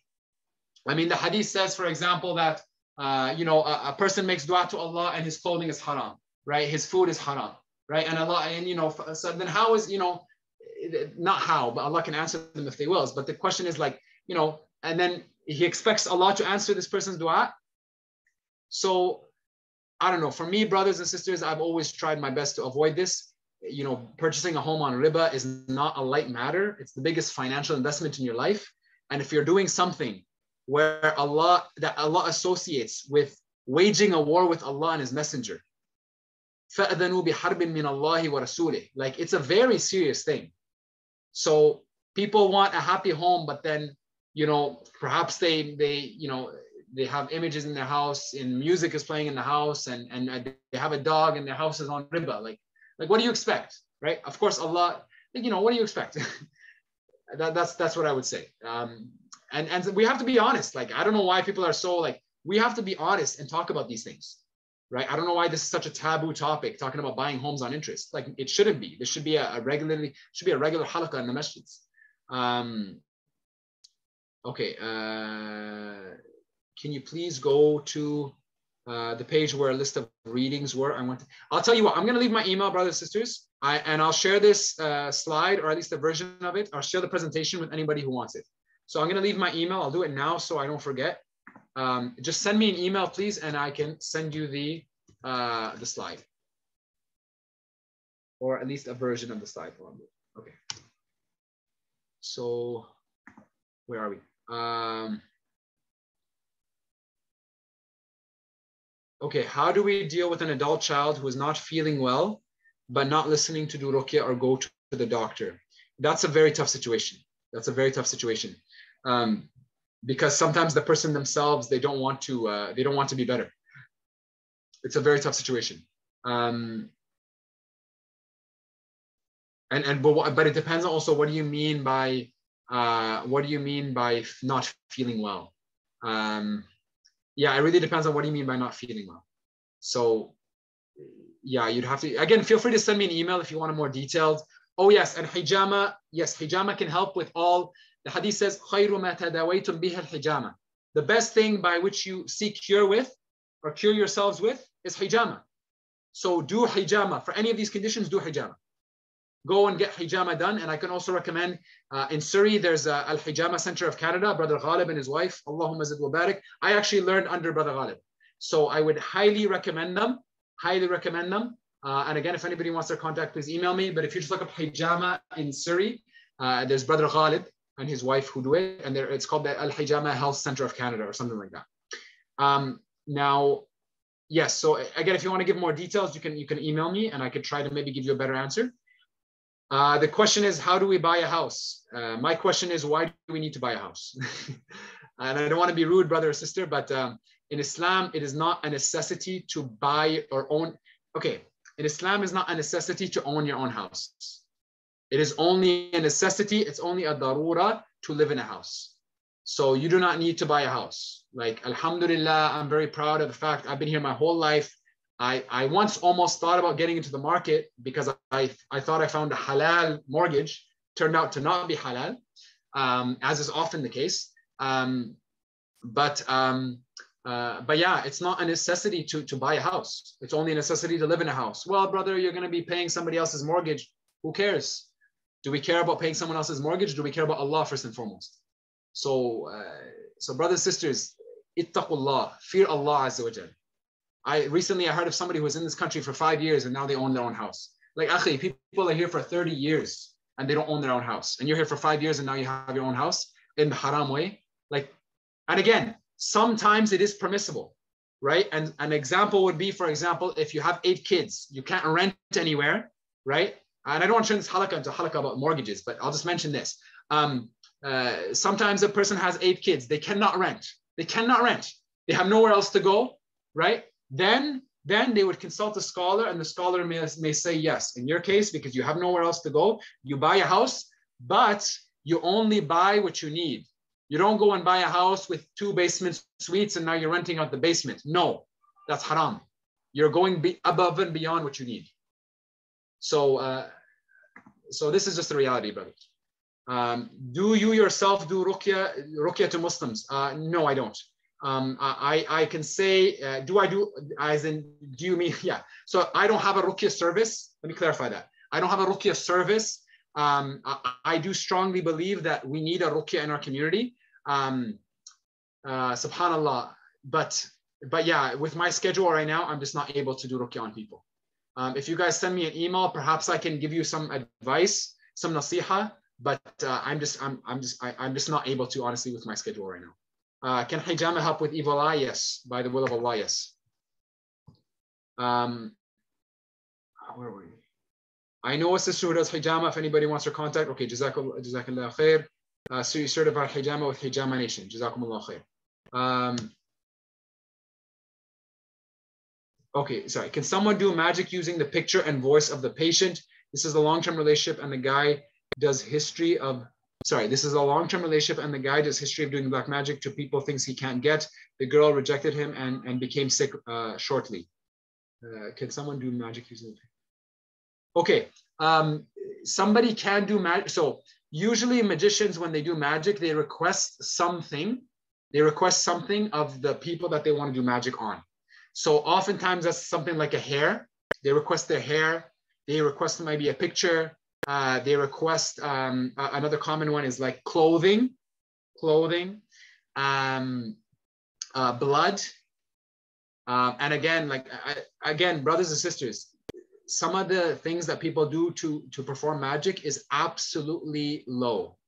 It's absolutely low, and um, may Allah protect us. Allahumma ameen. Um, uh, the voice of the pay, I don't know about the voice, but uh, they the the person might ask for the mother's maiden name, right? They might ask, okay, well, what's the what's the what's the mother's last name, right? Uh, and a person who asks for the mother's maiden name, I would say don't go to them. Anybody who asks you, uh, what's your mother's maiden name? Do not go to them. That would be my advice. Um, so can it be done with just the picture, not necessarily a physical object? Um, Allah knows best. Allah knows best. Um, uh, I think from what I understand, the jinn, uh, when they, they ask for the mother's maiden name to identify the person uh, in their world. Uh, and the reason I heard, I heard this, um, the reason I heard for this is because, you know, Allah says in the Quran, that call them by the, their father's name. So the jinn do the opposite of that. So they use their mother's name. Allah knows best if that's true. Um, but uh, but yeah, I, I don't know if it can be done just with a, a picture. I, I don't know. And I wouldn't advise that you ask a magician. I would not advise you to ask a magician. Okay. Um, now that was all our written questions. Does anybody have any uh, other questions? I know we've been a while, and I and again, brothers and sisters, this is a very important topic. Uh, does anybody have any questions they'd like to just unmute themselves and ask about? Go ahead.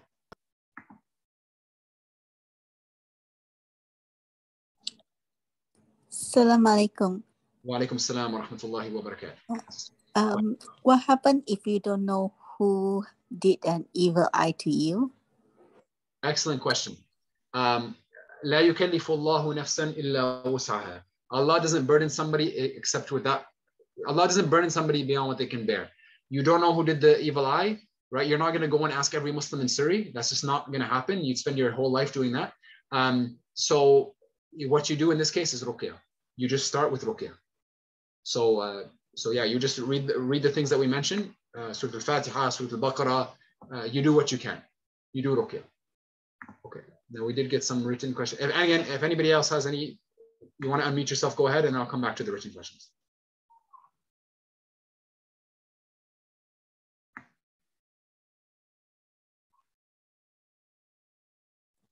Assalamu alaikum. Wa alaikum salam wa rahmatullahi wa barakatuh. Uh, as a parent, it's really difficult if the uh, children is adult and they are sick and you can see that they are sick, but then like they don't listen to you or read Quran. Yeah. And sometimes imams or people are not even available because if you want to try to take but this person one time uh, the child listen to you and you take to the masjid and maybe the imam is not available and uh, you can't read Quran by yourself all the time because he's not going to even listen to you or he will disturb you or he will yeah. make you angry. Yeah. That's a tough situation, sister. When you have adults, when you have an adult child, like, uh, you know what, you have to, like, at that point, they're responsible right? Uh, and it depends on what you mean. Like if we're talking to somebody who's 20 something years old, even 18, 19, like they're responsible for themselves at that point. Islamically, they're responsible. So if they themselves realize there's a problem and they don't want to do anything about it, that's that's something that's very serious. As a parent, you can advise them, you can do what you can. Uh, the one thing I would say, sister, don't stop making dua. Do not stop making dua, especially during the tahajjud time. Um, it's like the same case of somebody, for example, who has a child who left Islam this happens. What do you do? You're gonna tell them to come and sit down. I'm gonna read Quran on you. I'm gonna give you a halaqah. Like, like they're adults. Like, you know, they they're not, they may not listen to you. So you keep making dua, you keep making dua, you keep making dua. And, and Allah, you know, Allah is the changer of hearts. So um, just uh, just keep making dua. That's what I would say. Uh, but if they're younger and you have more control over them, then yes, you have to do what you can to get them to sit with a with a scholar, uh, uh, an imam, or yourself. If you can read the Quran, read it on them, right? Use it. Say, you know what? I'm not giving you your PlayStation or your phone until you come and sit one until you sit with me. And if if they're affected, if they're affected, um, you'll see it. If they're affected by jinn and you read Quran on them, you will you will see it. You'll see the reaction. So you know by the will of Allah. So um, we ask Allah to protect our children always. Allahumma ameen. Uh, but mm. I'm telling you, we need it. We need we need we do need this in our community. We definitely need people who do ruqya properly in our community. Yeah, go ahead, brother or sister. Sorry. Jazakallah khair.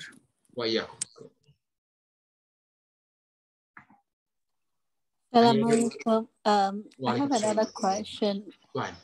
If can we tell whether we been possessed by jinn or evil eye?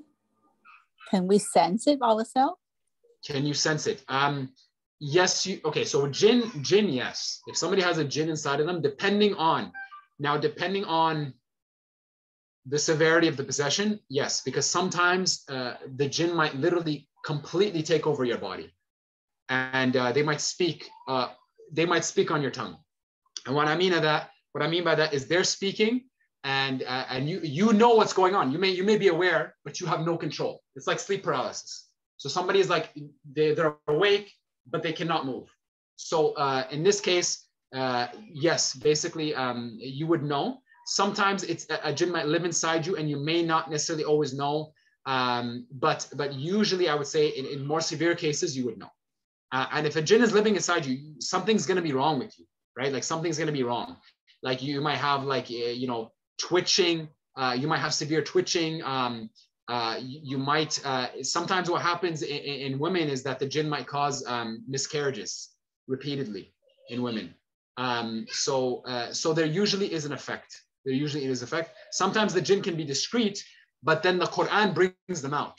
This is why when Raqi, like for example, like my teacher, he sits with someone, he reads the Quran and, and the jinn comes out. They can't control it, right? Because the, the, the Quran is so powerful and the jinn hate it that the that the the shaitan literally comes out, and then now the the, shay, the shaitan is in front of the raqi, and then you can do the ruqya, right? Hope that answers the question. Just if you have another question, go ahead. Well, yeah. I'm gonna just answer. There's a couple more that we just got. Um, is this true? If we talk about jinn, we can attract them. Um, I've never heard of that. Um, my advice would not be to just randomly speak about jinn for no reason. Remember, jinn can be righteous and jinn can be wrong, right? Uh, right? As uh, Surah Al-Jinn, uh, you know, uh, it's mentioned that some of the jinn are righteous and some of them are not righteous, right? They have their different ways, they have their different religions, right? There's Christian jinn, Jewish jinn, you know, star worshipping jinn, there's different jinn. Um, I've never heard of that, but I wouldn't talk about jinn unnecessarily because that's just weird. Um, sorry. Um, uh, how about magicians doing shows for kids? Um, brothers and sisters, I know with things like Harry Potter and with magicians, I personally would avoid anything that tries to glamorize magic. Um, I would avoid anything that tries to gra- glamorize magic because if we knew how magic is actually done, um, there's nothing uh, glamorous about it. There's nothing glamorous about it. Um, one of the things that Uh, one of the things that jinn, I'm going to tell you just so you get a little bit of a glimpse. One of the things the magician does to get the jinn to work for them is they they make a circle. They make a circle in sand, and then they sit in the circle. They sit in the circle and they don't move until they urinate and they, they, they defecate in it. Okay. And then they, they sit in that. They sit in their urine defecation in an attempt to call the jinn. This is one of the things that they do. So when we come along and we show kids like Harry Potter and we and we have magic shows, and these are not these are not magic in that sense. These are optical illusions, but in a way they're kind of glamorizing magic, right? And me personally, I would never take my kid to a magic show, never. And I wouldn't want my kid to watch Harry Potter because um, uh, in these things, in these shows, you might find a lot of things that are actually true with the real world of magic. They, they, they coincide with the real world of magic. Okay. Uh, should, uh, so could I put Quran recitation on at bedtime since I don't know how to read Arabic and I'm single mother convert and he reacts, then my son may be affected. Um, I wouldn't do it, sister, uh, when going to sleep, um, unless unless you know for sure someone's sick, um, and then it, if you don't have Quran, then they're they're affected even more. Um, uh, generally speaking, because the Quran says, uh, not the Quran, well, the Quran does say, Allah says in the Quran um, that uh, that basically is وَإِذَا أَرْ فَإِذَا وإذا قرئ القرآن فاستمعوا له وأنص وإذا قرئ القرآن فاستمعوا له وأنصتوا لعلكم ترحمون. So Allah says, uh, sorry, فإذا قرئ القرآن فاستمعوا فاستمعوا له وأنصتوا لعلكم ترحمون. If the Quran is recited, then listen to it and pay attention so that perhaps you may attain mercy of Allah. So generally speaking, the Quran should not be played while people are going to sleep unless somebody's affected for sure, and you know they're affected. And and listening, uh, playing the Quran will limit uh, will limit the effect that it has on the person at night. Um, uh, if you want to, I would say put it on during the day, sister. Put it on during the day. And yes, there is an opinion that it is permissible for a person to be listening to Quran while doing their work. There is an opinion uh, that is that is there. Uh, if you read the Quran on someone possessed and they start reacting, what do you do? you just continue reading the Quran and ignore the reactions. Um, yeah, basically. I mean, you don't want to put yourself in harm's danger, but you know, eh, in harm's way. But uh, yeah, like sometimes you need to continue reading the Quran, and the person may react. Sometimes the person reacts violently. Sometimes the person does react violently, um, and so uh, so you do need to. Um, but at the same time, uh, perhaps that's a good thing because it shows you the shaitan can't handle it. So um, this is why it's good to go to someone with more experience uh, because they, they, probably would have seen that and they know how to handle it.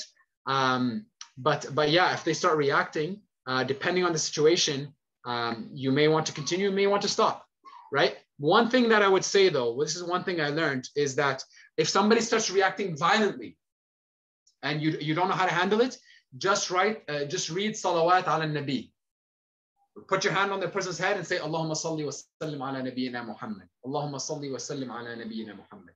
Allahumma salli wa sallim ala nabiyyina Muhammad. And you will find, inshallah, that the person calms down. The person calms down. Okay? If you try to read Quran over teen son and they become violent, is there any way to help them? The child refuses to go to masjid, sits in car and will become angry and violent, turns on music when you play Quran in home and listen to music to drown out Quran. That, that is something that's very concerning. Um, uh, if your if your son is a teenager and they're acting like that, uh, that is very concerning.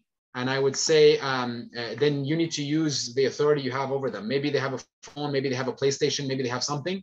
Um, uh, you know, you say, I'm not giving you anything until you sit, you sit here. You don't even have to read the Quran. I'm going to read on you. And any kid who wants their PlayStation, who's any kid who wants their PlayStation or phone, they're gonna they're gonna do that. I, I hope, right? Um, so, so that's what I would say. But if they become violent, they turn on music, um, uh, yeah, and they play music to tune out the Quran. But the violent part is very concerning. Um, uh, and again, that's where you have to use your leverage over the child. And again, do everything else that you can. Take out the images. Make sure your your home is everything is halal. Make sure you know like you're eating halal food in the house. You're saying Bismillah when you enter. You're saying Bismillah before eating. Do everything you can and inshallah, inshallah, things will, uh, inshallah, we hope you, things will get better. Uh, what about if your kids can't sleep through the night and wake up with frequent nightmares and are afraid of going into rooms alone, even in the daytime? Um, that just seems like a typical kid to me. Um, some kids, I myself was quite scared when I was younger. Um, uh, this could be okay. So the kid could be affected, but it could just be a kid, right? Um, and sometimes the kids just take longer time to actually um, acclimatized to to basically the them sleeping alone. I when our daughter, when the, you know the first time that we we moved her out, uh, it was tough, right? She, she, it wasn't just easy for her, but but they get used to it. So it really depends on the situation. Um, Uh, but again, if you want to go into more details, feel free to email me. Um, how to destroy the magic object that you find. Excellent question. I'm not going to go into that now. I would recommend speaking to a scholar. Um, if you have magic and you found it, I would recommend speaking to a scholar. There are different ways. Um, it may depend on the type of magic that it is. Can a woman read Quran or phone or do zikr when in haid? You can definitely do dhikr. Can you read Quran? Yes, I have heard the fatwa that you can also read Quran on phone. Yes. Um, you sorry, not necessarily on phone, but you are allowed to read the Quran. And now on the phone, uh, I don't know that, but I know that woman uh, can listen to Quran, can read Quran. I have heard that opinion where she's on her haid. Um, and doing dhikr, absolutely. Um,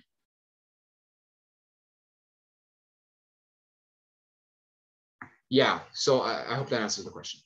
Okay, I know we've been going on for quite some time, subhanAllah. It's actually been going for two hours, so um, I don't want to make it too long. Um, if anybody has any questions, I'm gonna just leave my email once more.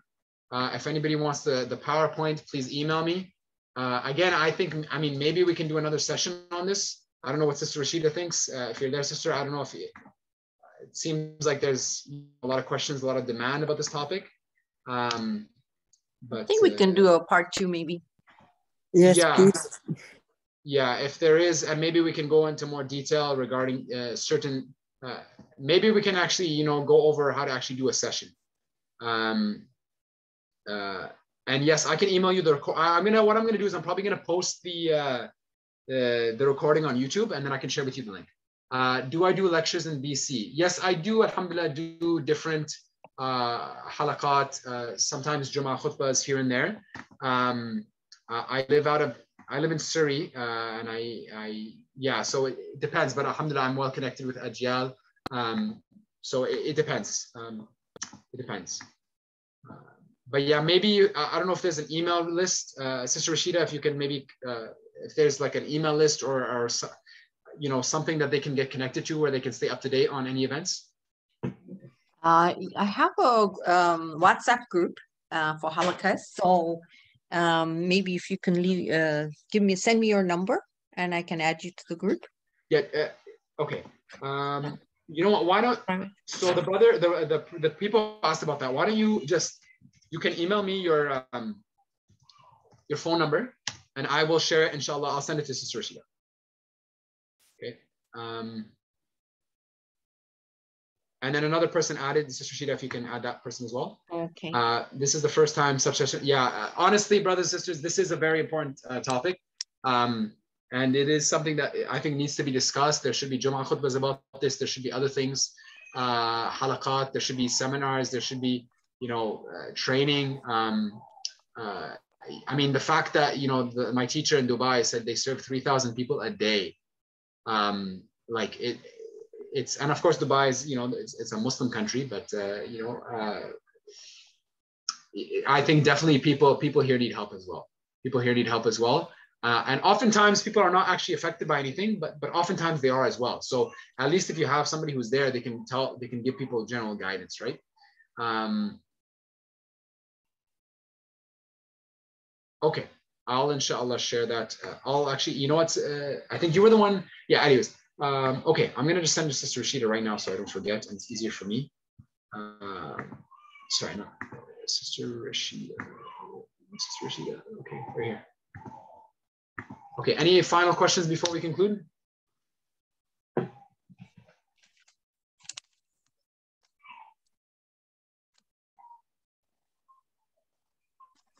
Just a quick question. How would you de destroy a tawiz which has do you just uh, put it on, you know, in the soil? Excellent. If you were given question. a tawiz by one of the one of the Maulvis, or how would you destroy that? Excellent question. Uh, tawiz, it depends on uh, what the tawiz is made for. So, so some tawiz, for example, um, for example, a tawiz might a person might tell you, okay, well, this tawiz you have to put it in water and then drink it, right? So that kind of tawiz you don't put it in water. That one you burn it. Okay you burn it. And so that one, when you're burning it, you actually recite the Quran so that you're not affected. So eh, there's different ways. I've seen Raqis do it. One of them is like you have the Taweez and you recite the Quran on it. Okay, you recite at least Surah Al-Falaq and you blow on it. Okay, and then if it depends on the type of taweez that it is. So you're gonna basically do opposite of what the, the magician told you to do, or the or the or the batil Raqi, the, the fake Raqi. So if the fake Raqi tells you uh, put this in water, you're not gonna put it in water. You're gonna burn it. And if the person if they if, if they tell you to burn it, you're gonna put it in, in prayed water. You're gonna soak it, dry it, and then burn it.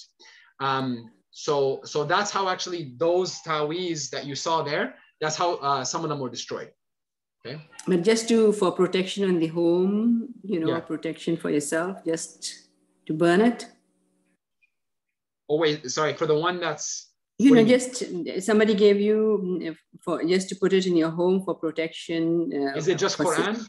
No, it's not. Not Quran. With yeah, yeah. So that one, if they just numbers. need it for your home, what I would do, what I what what in that case, because they didn't specify anything, what I would do is I would pray on water I would read Ayatul Kursi, the three quls, blow on the water, put it in the water, let it soak in the water for a half an hour, well, hour, and then take it out, dry it, right? And inshallah, that'll be enough. But just to be sure, just to be on the safe side, I would say go and burn it. Uh, burn it after that. Dry it and burn it. That's Thank what I would saying. say. You're very welcome. Um, may Allah, may Allah grant shifa to all our struggling, uh, you know, mothers, brothers, fathers, sisters, uh, cousins, nephews, all the Muslims. May Allah grant us all shifa. Uh, Allahumma shfi mardana wa mardan muslimin ya rabbal alameen. Okay, Jazakumullah khair, everyone. We'll end it there. I know it's been a long session. And Maghrib, I think, just came in or is about to come in. Subhanallah, subhanakallahumma wa bihamdik. Ashadu an la ilaha illa ant. Astaghfiruka wa atubu ilayk. And remember, my email is there. If anybody has any questions or they'd like the presentation, please email me. Jazakumullah khair. Assalamu alaikum wa rahmatullahi wa barakatuh. Brother Omar. Would you yes, be available next Saturday? Because we, uh, Brother Eamon is not doing a halaqa next Saturday. Would you want to do it, or would you ha- would you need time for preparation? Um, I mean, five o'clock. Five o'clock next Saturday. Um, let me just. I'm gonna just, just look on my schedule and I'll get back to you, inshallah. I'll send okay. you a message, inshallah. Okay, inshallah. وإياكم جزاكم الله